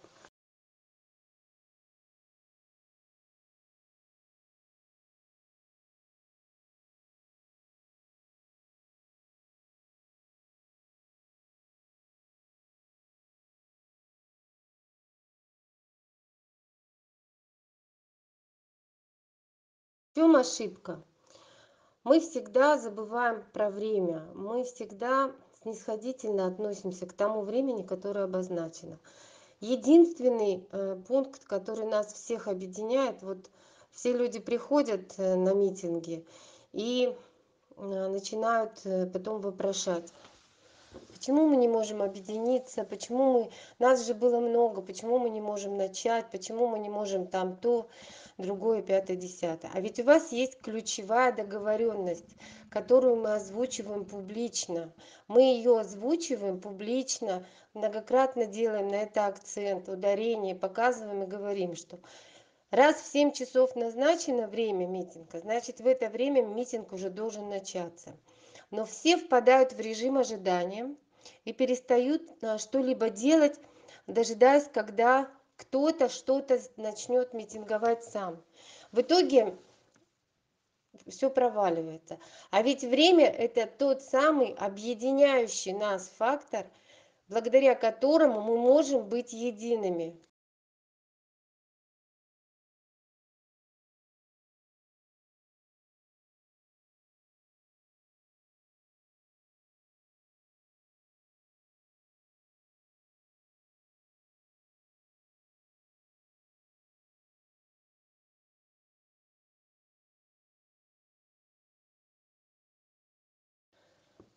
если бы наши ячейки которые между собой договаривались активисты которые отдельно пришли допустим в точку сбора скажем так на выставке? Ровно в шесть стартанули ровно в шесть. Люди которые там вокруг ходили боялись начать и так далее увидев активную группу присоединились бы и шествие бы началось и это шествие бы позволило бы нарастить большую группу людей за собой потому что там в этот момент на на в районе выставки ходило около трехсот человек. Вот можете себе представить. Такое количество людей ходило и никто не осмелился начать. Более того люди сделали всё чтобы найти себе повод отговорку убежать в другое место и в итоге побежали там и на стадион и к театру вызова и винили друг друга и винили меня что мы там плохо договорились там и так далее. Но я на самом деле вижу большой плюс. Я вижу что не произошла утечка до определённого момента. Я знаю каким образом у нас утечка произошла. За кем из активистов следили почему полиция прибыла туда. Вот. И я понимаю как это всё происходит. То есть ребята если вы мы всегда будем ориентироваться на договорённости у нас не будет такого развала представьте какой был большой потенциал около трехсот человек ходило на выставке около трехсот человек ходило на саяхате Еще какие-то люди ходили на Арбате. Вот представьте. В районе Тулпара в Астане э, ходило около 200 человек. Представьте, все эти люди мне пишут, мы здесь, мы тут стоим, ничего не происходит. Мы сюда пришли, никого нет. Я получаю сотни сообщений, я вижу, что вы все там. Я в ужасе, что я вам всем пишу и говорю, ребята, начинайте, а вы не начинаете. Вы ждете кого-то другого кто-то другой ждет вас и это все замкнутый круг. Но вы были там вас было тысячи.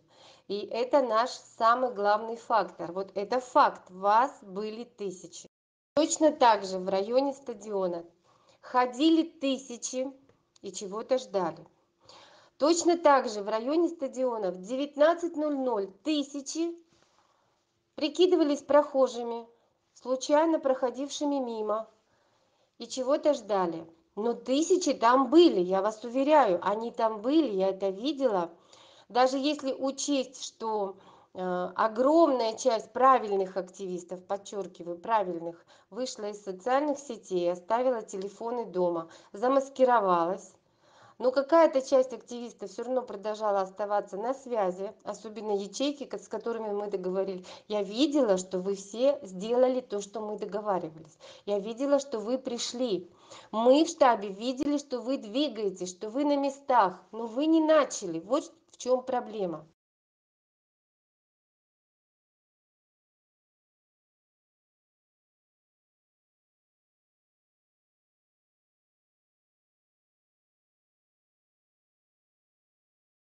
в районе саихата одна из активисток сделала прямой эфир со мной в мессенджере facebook.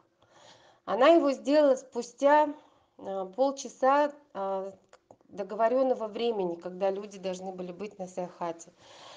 За полчаса там ничего не произошло. Несколько человек писали и писали что мы здесь мы находимся здесь и так далее и эти несколько человек так и не объединились. В итоге она взяла включила свой телефон и около получаса ходила по саяхату показывала мне всех этих людей говорила вот они сидят задавала им прямые вопросы. Вы на митинг? Да на митинг вставайте пойдёмте да ладно я вот своих подожду. То есть вот так вот ребята вели себя вот таким образом. Вокруг всего саяхата человек обошёл показал мне этих людей которые там там там на скамеечках везде сидели и так далее. Но не вышли. Конечно это было не везде. Конечно у нас есть другие факты. Но я хочу сказать другое. Я хочу сказать самое главное. Чтобы мы не отчаивались я хочу сделать акценты на том что у нас есть в итоге. На самом деле это хороший показатель. Просто отличные показатели и я этим показателям очень рада. Мы сделали первый пробный шаг и мы попробовали провести первую активную конспиративную работу партизанскую работу. И она нас на самом деле удалась. Пусть не на сто процентов пусть мы не смогли реализовать все замыслы но нам удалось добиться активности ячеек активности ячеек со штабом. То есть работе со штабами в работе со мной огромное количество активистов проявили высочайшую активность. Это наша первая главная и самая важная заслуга. Именно это и будет базой основой нашей победы в будущем. Есть координационные недоработки. Мы это все видели извлекли уроки для себя активисты для себя сделали выводы. Что прекрасно огромное количество инициативы идет от самих ячеек от лидеров ячеек.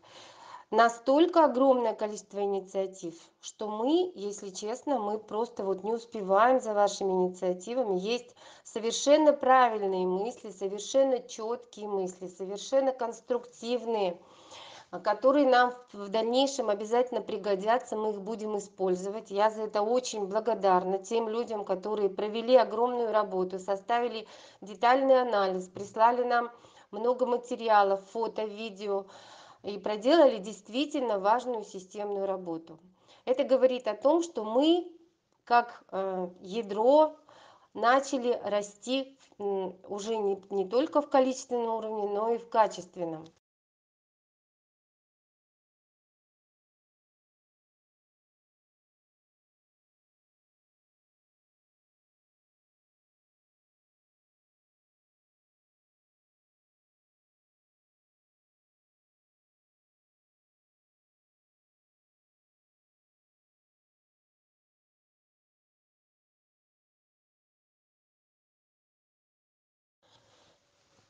более того мы понимаем что расти это будет стремительно. Почему я это говорю? Потому что я вижу просто высочайшую обратную связь.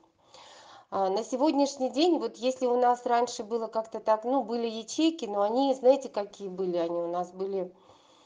Мы заходили здоровались как дела то всё расходились сейчас у нас ячейки качественно другие у нас есть там куча кипучей работы.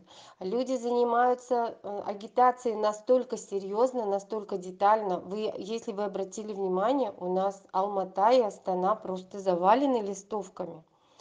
Если вы обратили внимание у нас в регионах листовки транспаранты плакаты всё это стало появляться. Это инициатива самих ячеек самих активистов. И люди научились объединяться самоорганизовываться и свои собственные инициативы даже не согласовывая там ни со штабом ни со мной просто нам как результат потом высылают мы вот объединились мы ячейка мы вот это сделали примите работу. Это прекрасно. Вы поймите насколько другим стал наш чат насколько другими стали наши активисты. Для многих эта работа остаётся за кадром. Я вам её специально рассказываю что касается мест сбора мы к этому ко всему придём. Мы как собирались в публичных больших местах так и будем собираться ребята. Другое дело какую предварительную работу мы будем проделывать. Теперь я хочу сказать о тех людях которые несмотря на то что у них была минимальная поддержка всё-таки начали стартанули и сделали наши митинги всё несмотря на такое огромное давление и отсутствие поддержки массовой со стороны наших сторонников.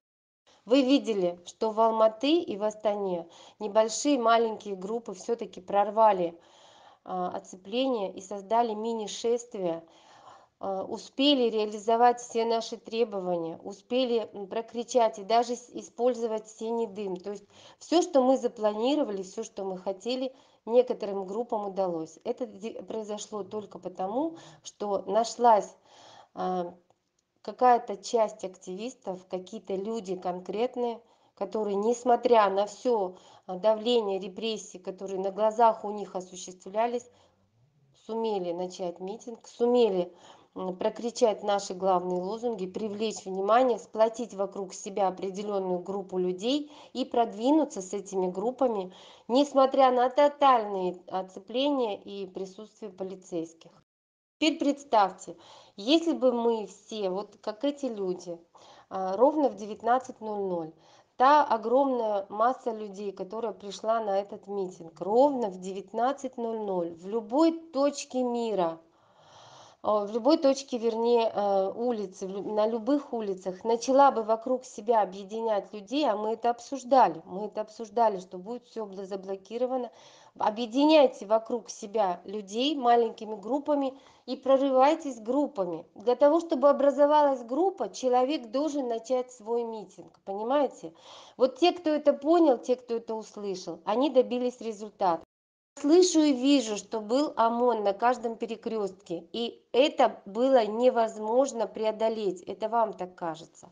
На самом деле мы с вами обсуждали что если бы там на тех перекрёстках на подступах к стадиону люди в тех точках в которых они шли начинали свои собственные митинги к ним бы прирастали определённые массы людей которые могли в какой-то момент слиться и прорвать оцепление в каком-то из в какой-то из точек ещё была одна вещь которую на которую многие не обратили внимания и в итоге не реализовали этот план. И он бы мог помочь. Я сейчас расскажу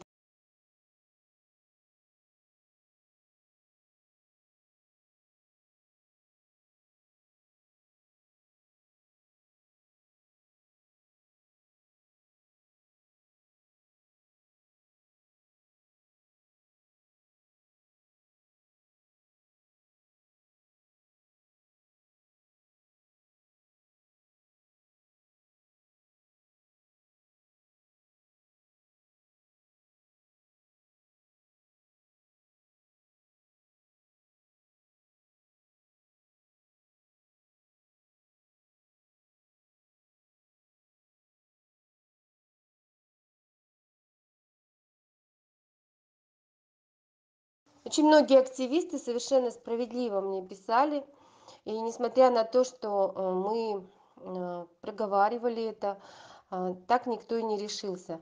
Группы активные были.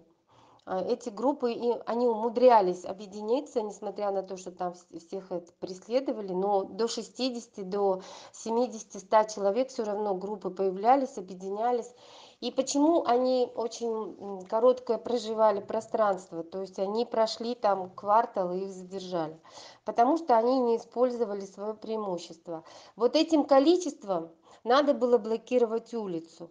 Вас много, а какая-то часть останавливает машины, два-три человека выбежали, помахали руками, остановили транспорт и заняли проспект Абая. Что начинается? Начинается сутолока, начинается затор, и автомобилисты начинают вам помогать. Вот в этом заторе как раз таки вас сложнее хватать, сложнее вытаскивать вас из этой трассы и вытаскивать вас в автозаки. Именно поэтому к вам приехала полиция. Но если бы вы создали этот затор, полиция бы до вас не доехала. Эти факторы не учли и проспекты не заняли. В результате даже образовавшись команду около 100 человек, вы не использовали своих преимуществ и через короткое время были все так сказать ну зачищены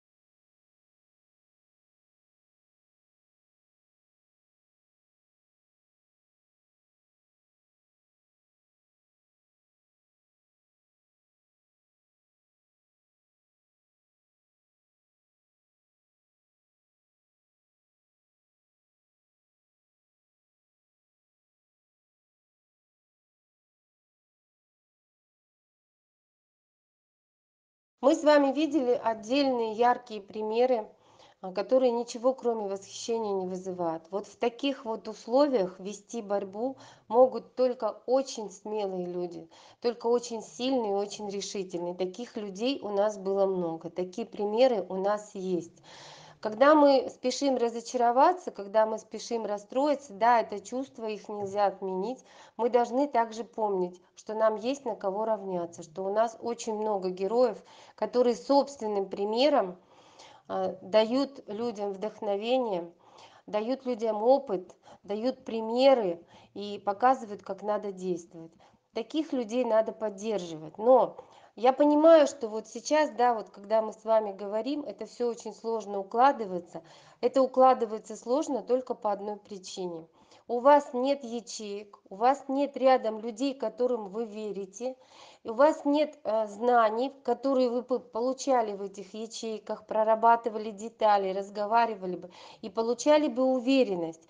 Вот если бы вы приходили после подготовки в таких ячейках вы бы чувствовали себя по-другому а поскольку вы приходили по одному не имея прямой поддержки вы чувствовали себя по-другому вы чувствовали себя вернее неуверенно потому что не на кого было опереться. Каждому человеку нужна нужно чувство опоры. Вы видели даже одна женщина другую поддержала они уже чувствуют себя иначе начинают какие-то другие вещи выкрикивать во время митинга. Вот когда у нас в чате разговоры сменятся знаете вот обращение сменится. С таких вот комментариев допустим надо было сделать вот это и было бы вот так. Надо было бы сделать то-то и было бы вот так вот когда у нас риторика сменится наша группа я сделал вот это и получил вот такой результат вот тогда у нас будет тотальный результат на всех митингах. Когда мы начнём транслировать я предложил и сделал вот такое и благодаря мне благодаря нашим действиям произошло вот там допустим следующее. Вот тогда у нас тотально в чат в это в стране наступят перемены. Сейчас пока что все кому-то что-то предлагают сделать все кого-то к чему-то призывают особенно нас с мухтаром аблязовым. Вы должны сделать это вы должны сделать то но никто не пишет. Ребята я сделал вот это и вот вы знаете это правильно и результат хороший и так далее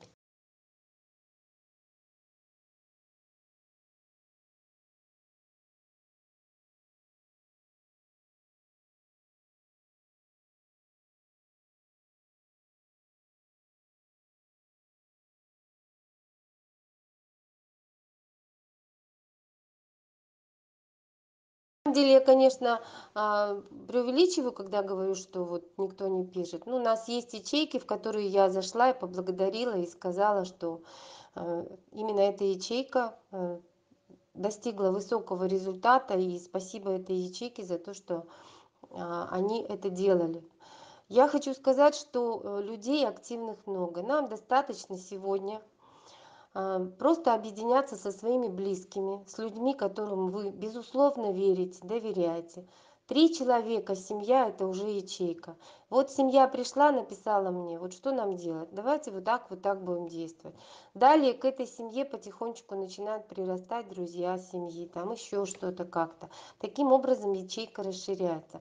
Но это люди которые друг другу верят которые могут друг на друга опереться. И вот они и есть ячейка. В итоге они получают задание выходят и получают результат видят этот результат хотят сделать большего получают следующий результат и так далее.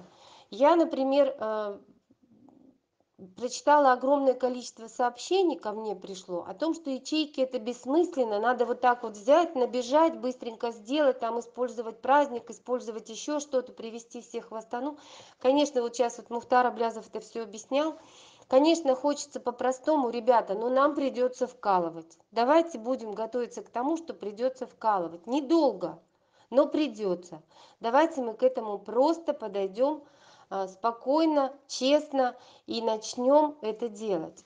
Те люди которые действовали те люди которые вкладывались причем вкладывались а, не только трудом своим вкладывались максимально.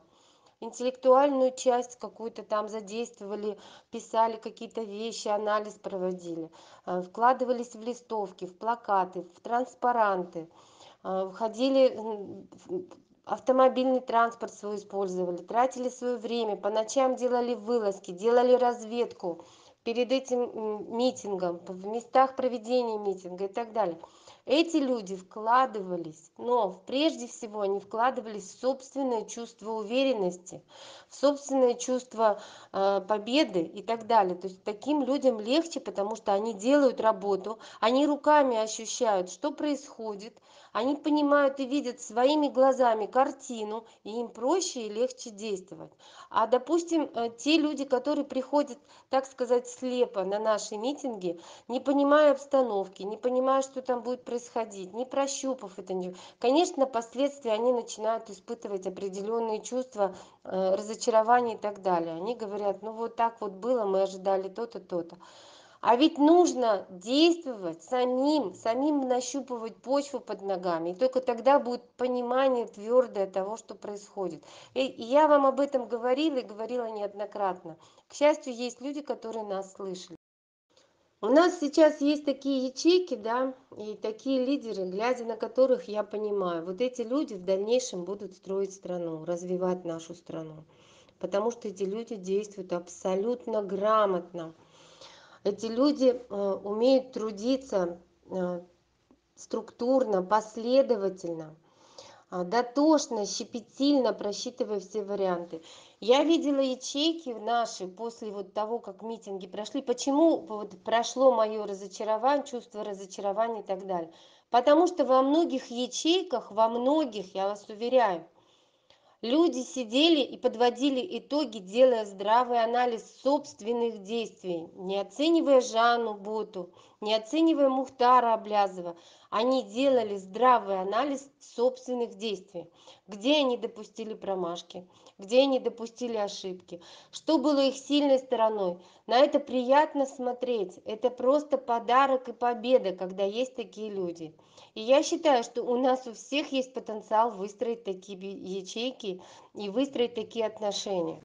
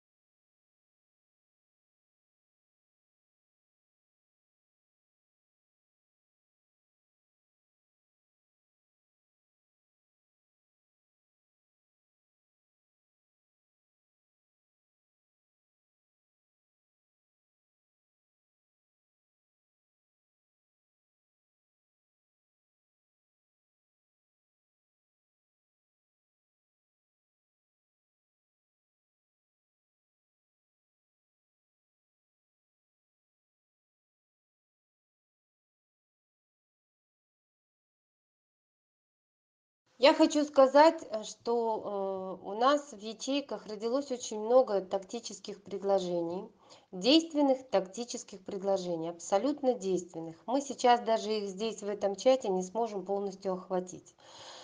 Но очень много важных предложений. Ну вот допустим такое предложение. Я вот хочу вам его озвучить мы знаем людей которые руководили задержаниями. Мы знаем их в лицо мы знаем их должности.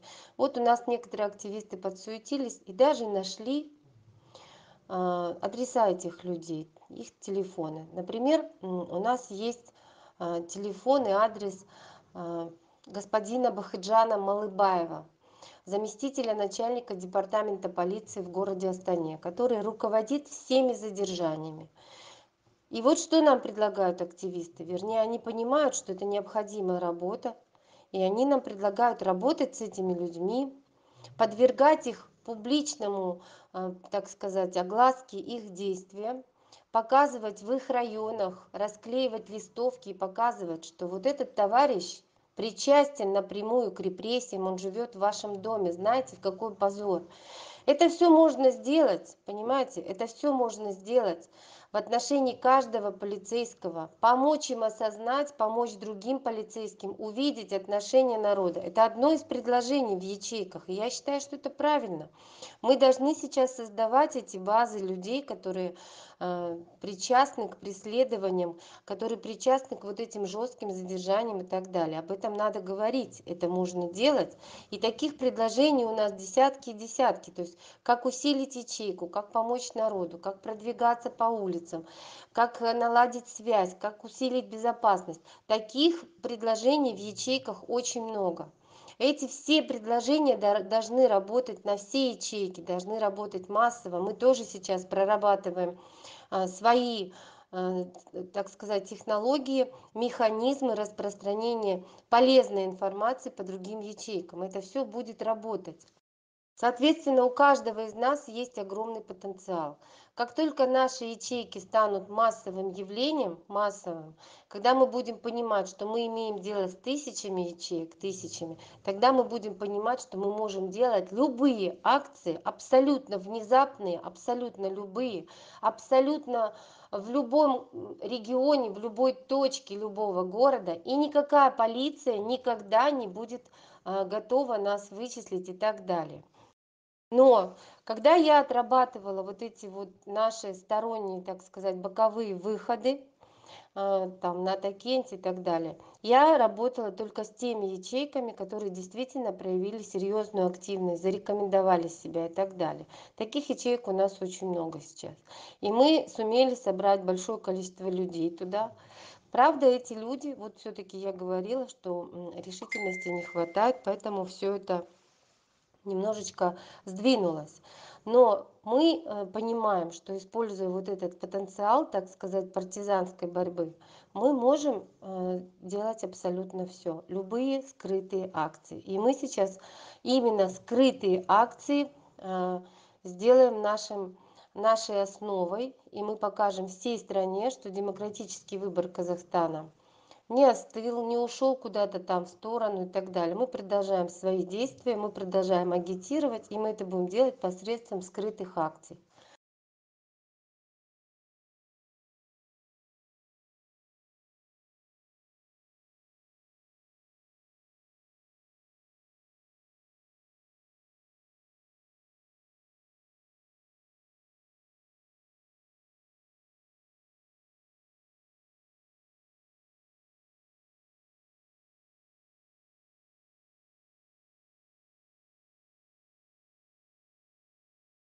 что касается полицейских. Мы сегодня проговаривали с мухтаром аблязовым эту ситуацию. Вот не не указал в эфире мухтар за потоком информации. Но я хочу подчеркнуть что задержанием наших активистов занимаются отделы по борьбе с терроризмом и экстремизмом. Что в астане что в алматы мы знаем сотрудников этих отделов. У нас есть их имена у нас есть имена руководителей у нас есть имена заместителей вот этих департаментов поименно и в алматы и в астане которые занимаются преследованием. Мы должны получить и создать такую базу по всему казахстану в каждом регионе потому что именно эти отделы активно сегодня занимаются репрессиями преследованием наших активистов. Талгана ержанова работала всю ночь чтобы вам было понятно. Вот этот отдел по борьбе с терроризмом и актив и экстремизмом он работал всю ночь. Понимаете экстремистами они считают нас. Они не считают себя экстремистами когда они нарушают закон когда они превратили закон в тряпку превратили его в пыль. Они считают экстремистами нас они фабрикуют дела они ломают жизни они считают экстремистами нас. Так вот мы это всё поставим на свои места. И эти люди которые вот в этих отделах ведут эту грязную деятельность хоть и по приказу хоть и потому что это их работа они будут за эти свои преступления отвечать. И поэтому мы должны собрать имена людей которые занимаются борьбой вот именно в этих отделах по борьбе с экстремизмом и экстремизмом. И имена этих вот руководителей офицеров нам надо собрать по всем регионам и создать собственную базу. Именно их мы в первую очередь будем привлекать к судебной ответственности. Я хочу обратить ваше внимание на то как в этот раз активно и мощно нам помогали автомобилисты. Согласитесь это было ну просто вдохновляюще воодушевляюще. Настолько серьёзную поддержку оказали автомобилисты в обоих городах там и в алмате и в астане да пусть в регионах это не так сильно было видно но тем не менее поддержка у нас была. Это несмотря на то что мы проводили акцию в выходной день вечером и на самом деле транспорта было очень мало. Именно это не позволило нам создать большие пробки потому что когда мало транспорта пробка создаётся очень долго. Мы этот фактор учтём и когда мы будем планировать следующие митинги мы обязательно будем учитывать фактор создания пробок. Это должно быть такое время и день когда пробки будут можно будет создавать очень просто сразу отвечаю нурику нурике да нам нужны анимационные ролики. Если вы в состоянии их сделать пожалуйста делайте. И мы с удовольствием будем их выкладывать. И свяжитесь со мной в личке для этой цели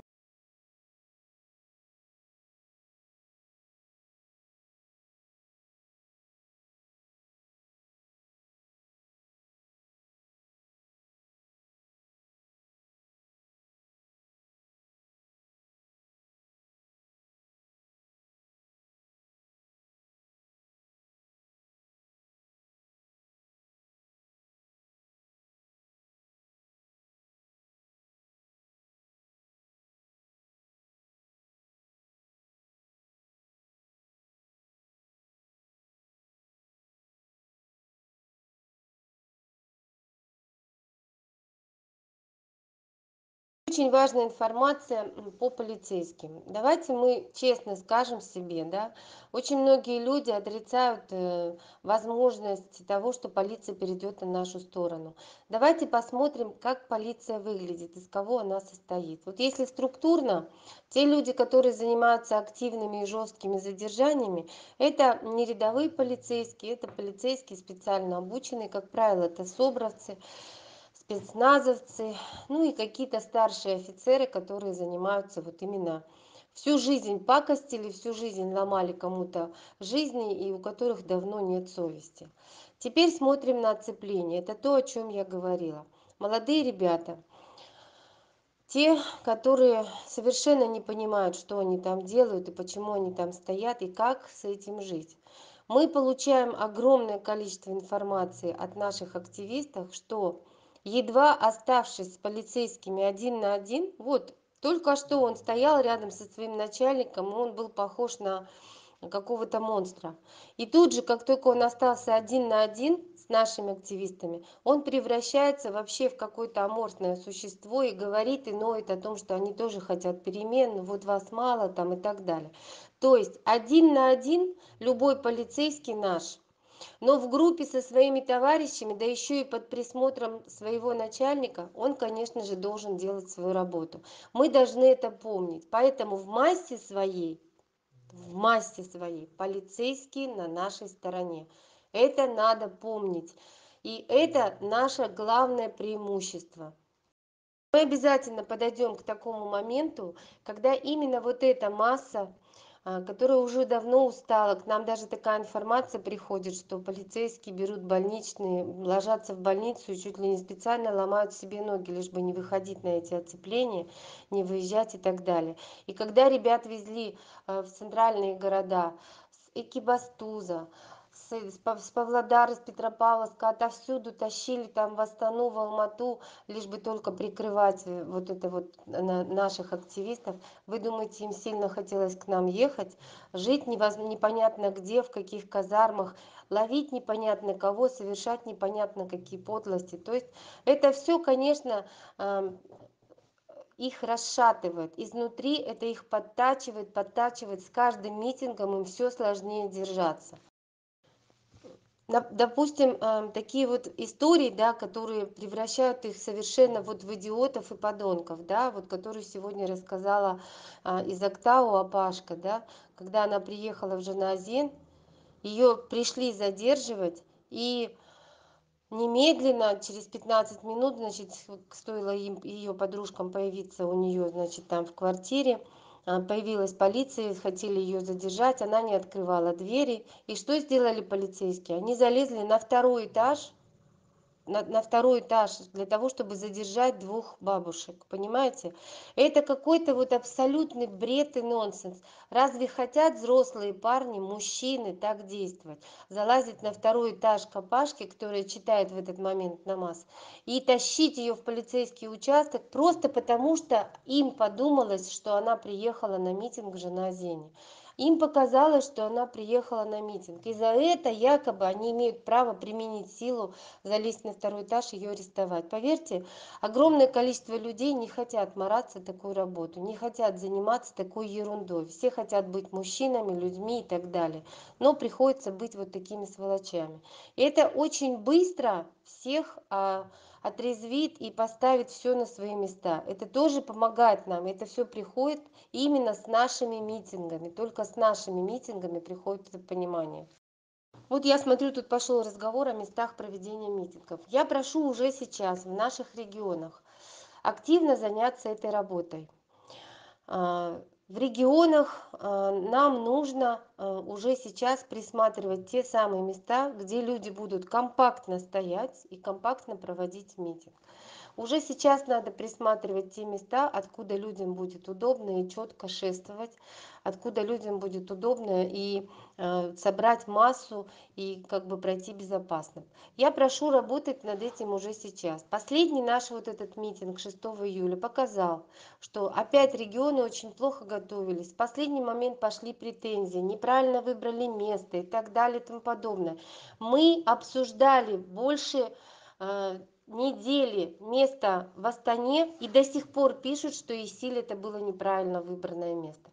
Так вот давайте мы будем о местах митингов думать сейчас а не тогда когда мы уже объявили дату и так далее. Мы должны уже сейчас для себя присматривать эти места и думать какой из них наиболее подходящий. Заберите себе это задание и пожалуйста в своих ячейках начинайте эту работу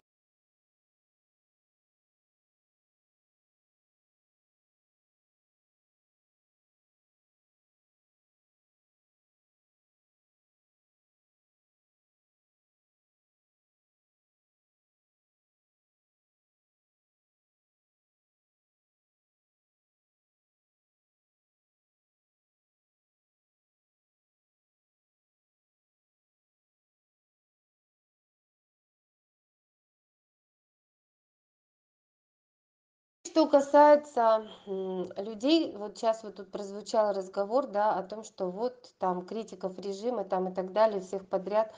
То есть я хочу что сказать. Давайте мы будем говорить о предателях в полный рост. Я почему за это? Я вам сейчас объясню. Я живу в украине. Я вижу сколько здесь предателей во власти. Тех самых предателей которые ещё при януковиче при сейчас вот порошенко и так далее мешали народу мешали каким-то инициативам мешали продвижению каких-то реформ и так далее. Или внедряли какие-то вредные для народа там законы и так далее. То есть вот эти самые предатели прорвались пробрались в парламент пробрались там в другие властные структуры и там сидят и мешают очень серьёзно мешают продвижению развитию этой страны поэтому мы считаем что таких людей надо сейчас раскрывать показывать для того чтобы завтра наш наивный народ не выбрал касановых в парламент не выбрал нарымбаев в парламент не выбрал в парламент а, тех предателей которые уже сейчас работают на то чтобы рассорить народ расколоть отвлечь увести в другую сторону тех предателей которые работают сегодня на режим способствуют режиму своими действиями. Я считаю что мы должны это сейчас озвучивать и показывать чтобы завтра наш народ не заблуждался видел и понимал кто вредил и мешал а, нашим переменам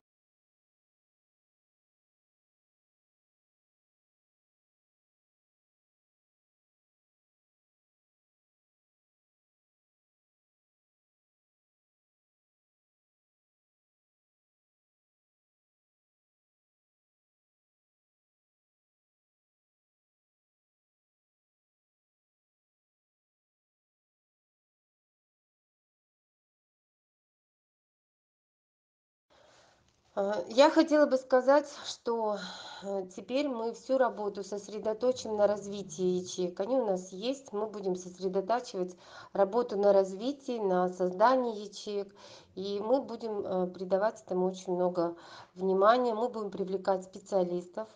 Они у нас тоже есть здесь консультантов всевозможных. Мы будем внимательно слушать ваши рекомендации изучать. У нас создана специальная база а, с теми отзывами которые мы считаем конструктивными мы эти отзывы собираем копим а мы их исследуем анализируем. И мы а, будем э, сейчас очень много внимания уделять вот этим вот вещам для того чтобы наши ячейки стали максимально сильными максимально эффективными максимально большими чтобы этих ячеек было очень много вот это наша будет сейчас основная работа. Эту работу буду делать я лично. Я буду эту работу возглавлять направлять и развивать э, вместе с мухтаром аблязовым. Но мы добьемся массовости и мы добьемся того чтобы ячейки стали эффективными. Почему я э, радуюсь э, прошедшим событиям? Потому что я четко осознала что такой потенциал у нас есть. Потому что я на примере всех этих переписок которые у нас длились бесконечно там чуть ли не сутками с активистами я увидела и услышала что огромный потенциал в регионах огромный потенциал в центре. Это все у нас есть. Соответственно наша задача это развить укрепить и создать как можно больше массово создавать ячейки. В этом ваша задача тоже то есть вы нам должны помогать ваша задача эти ячейки создавать наша задача их развивать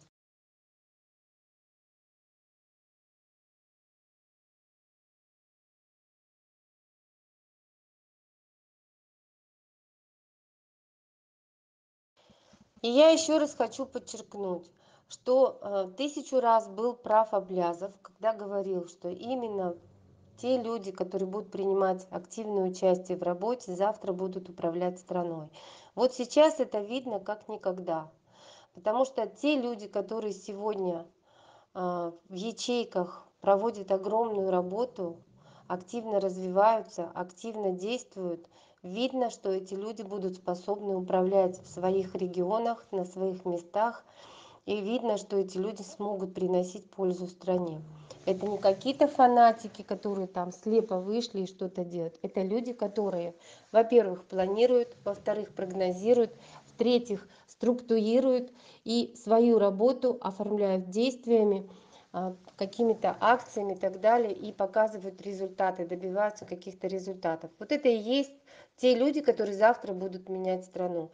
Именно сейчас пришло четкое понимание того что э, в наших ячейках формируется новая сила э, новая организационная сила управленческая которая завтра будет страну поднимать. И поднимать это честно с воодушевлением с энтузиазмом полной отдачей так же как сегодня мы добиваемся с этими ячейками победы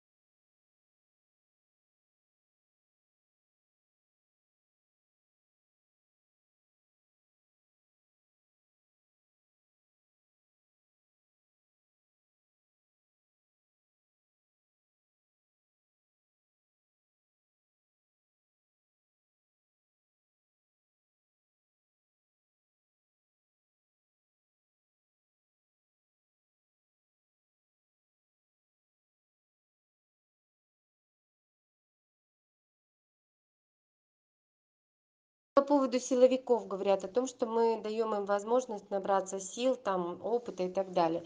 Кстати я хочу сказать по поводу силовиков.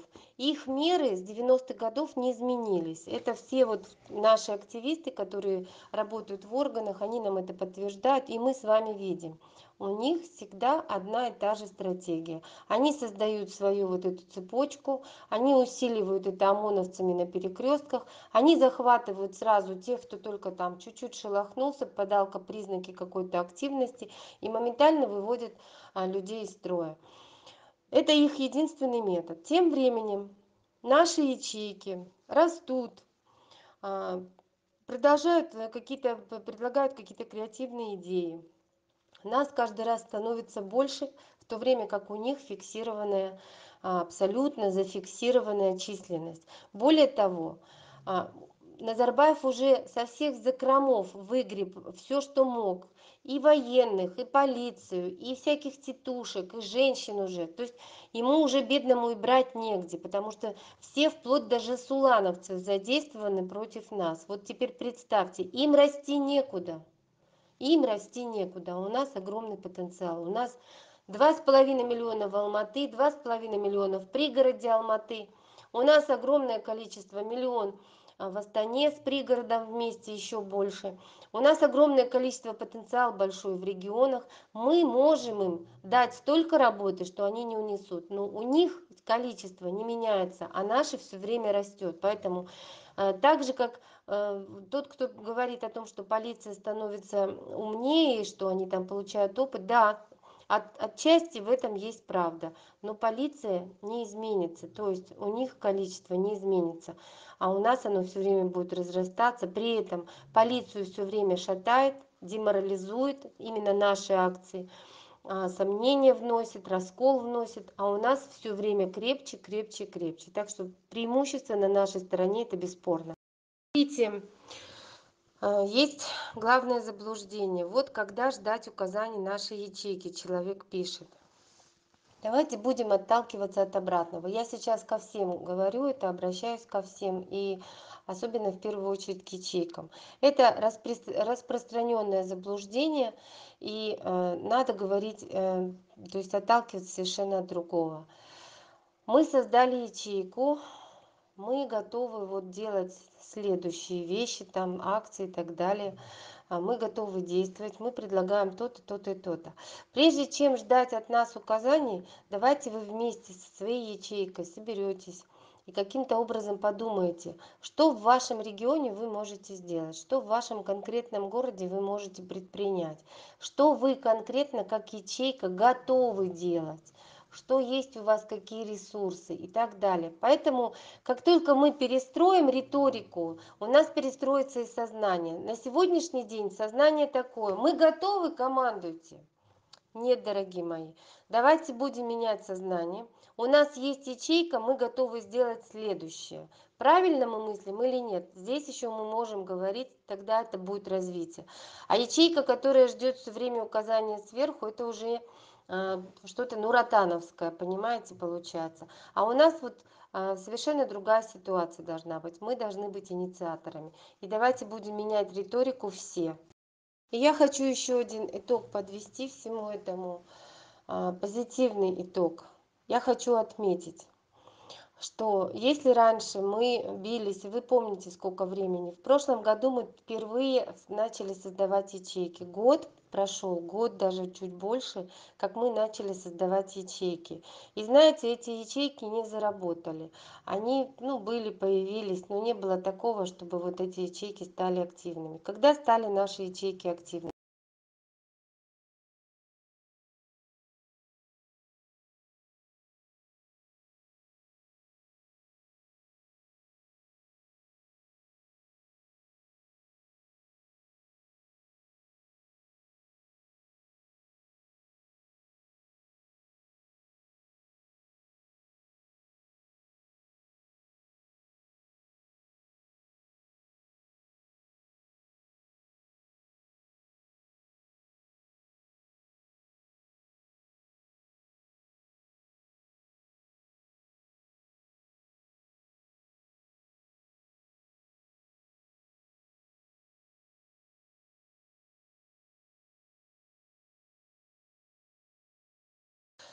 А, тут прервалось у меня почему-то. Я хочу сказать, что наши ячейки стали активными только после первого мая. Но после девятого июня они тотально начали формироваться массово, и мы перестали успевать обслуживать эти ячейки, обрабатывать информацию из них, хотя в некоторых ячейках просто абсолютно золотая информация приходила, бесценная, с которой надо было работать. А, но сейчас ситуация кардинально изменилась в ячейках осознали что от них многое зависит. И в ячейках появилась вот этот появился принцип которого мы добивались очень долго. Люди стали заниматься самоорганизованностью стали сами себе ставить задачи. Еще раз говорю в наших ячейках люди сами себе стали ставить задачи и реализовывать их. Вот это бесценно Именно так, такими должны быть наши ячейки. И то, что это появилось, является признаком того, что э, в стране научатся самоорганизовываться сейчас тысячи и тысячи людей. И когда такое происходит, это процесс необратимой победы. Никто не сможет остановить людей, которые научились самоорганизовываться ради цели э, по смене режима, ради того, чтобы выйти на митинги ради того, чтобы добиться эффекта на этих митингах. Здесь уже необратимая победа, потому что э, таким людям не требуется Мухтар Аблязов, Жанна Бота и так далее. Они знают свои задачи, они двигаются, они будут действовать. Наш позитивный итог в том, что наконец эта инерционная волна появилась, она есть, она будет развиваться, она придаст нашему движению конструктивную силу, ту силу, которая будет э, абсолютно правильно действовать, абсолютно четко направлять всю страну и действовать самостоятельно, инициативно. И это когда начинается снизу, то есть все инициативы снизу, это абсолютно бесценное качество. Именно так случаются перемены. И вот на этой позитивной вот э, вот на этих позитивных переменах мы должны сконцентрироваться и понимать, что это и есть наша главная сила. Друзья, вот мы действительно провели очень длинный эфир. Тут некоторые бессовестные люди умудряются писать, что они устали слушать. Ну хорошо, раз вы устали, идите спать. На самом деле я сегодня хочу с вами попрощаться, попрощаться с вами на позитивной ноте. А, мы обязательно добьемся победы в очень и причем очень скоро. Я четко вижу, что это вопрос быстрого времени, скорого времени. Мы на всех направлениях комплексно добиваемся больших результатов комплексно на всех на всех направлениях. То есть наш а, растет число наших сторонников.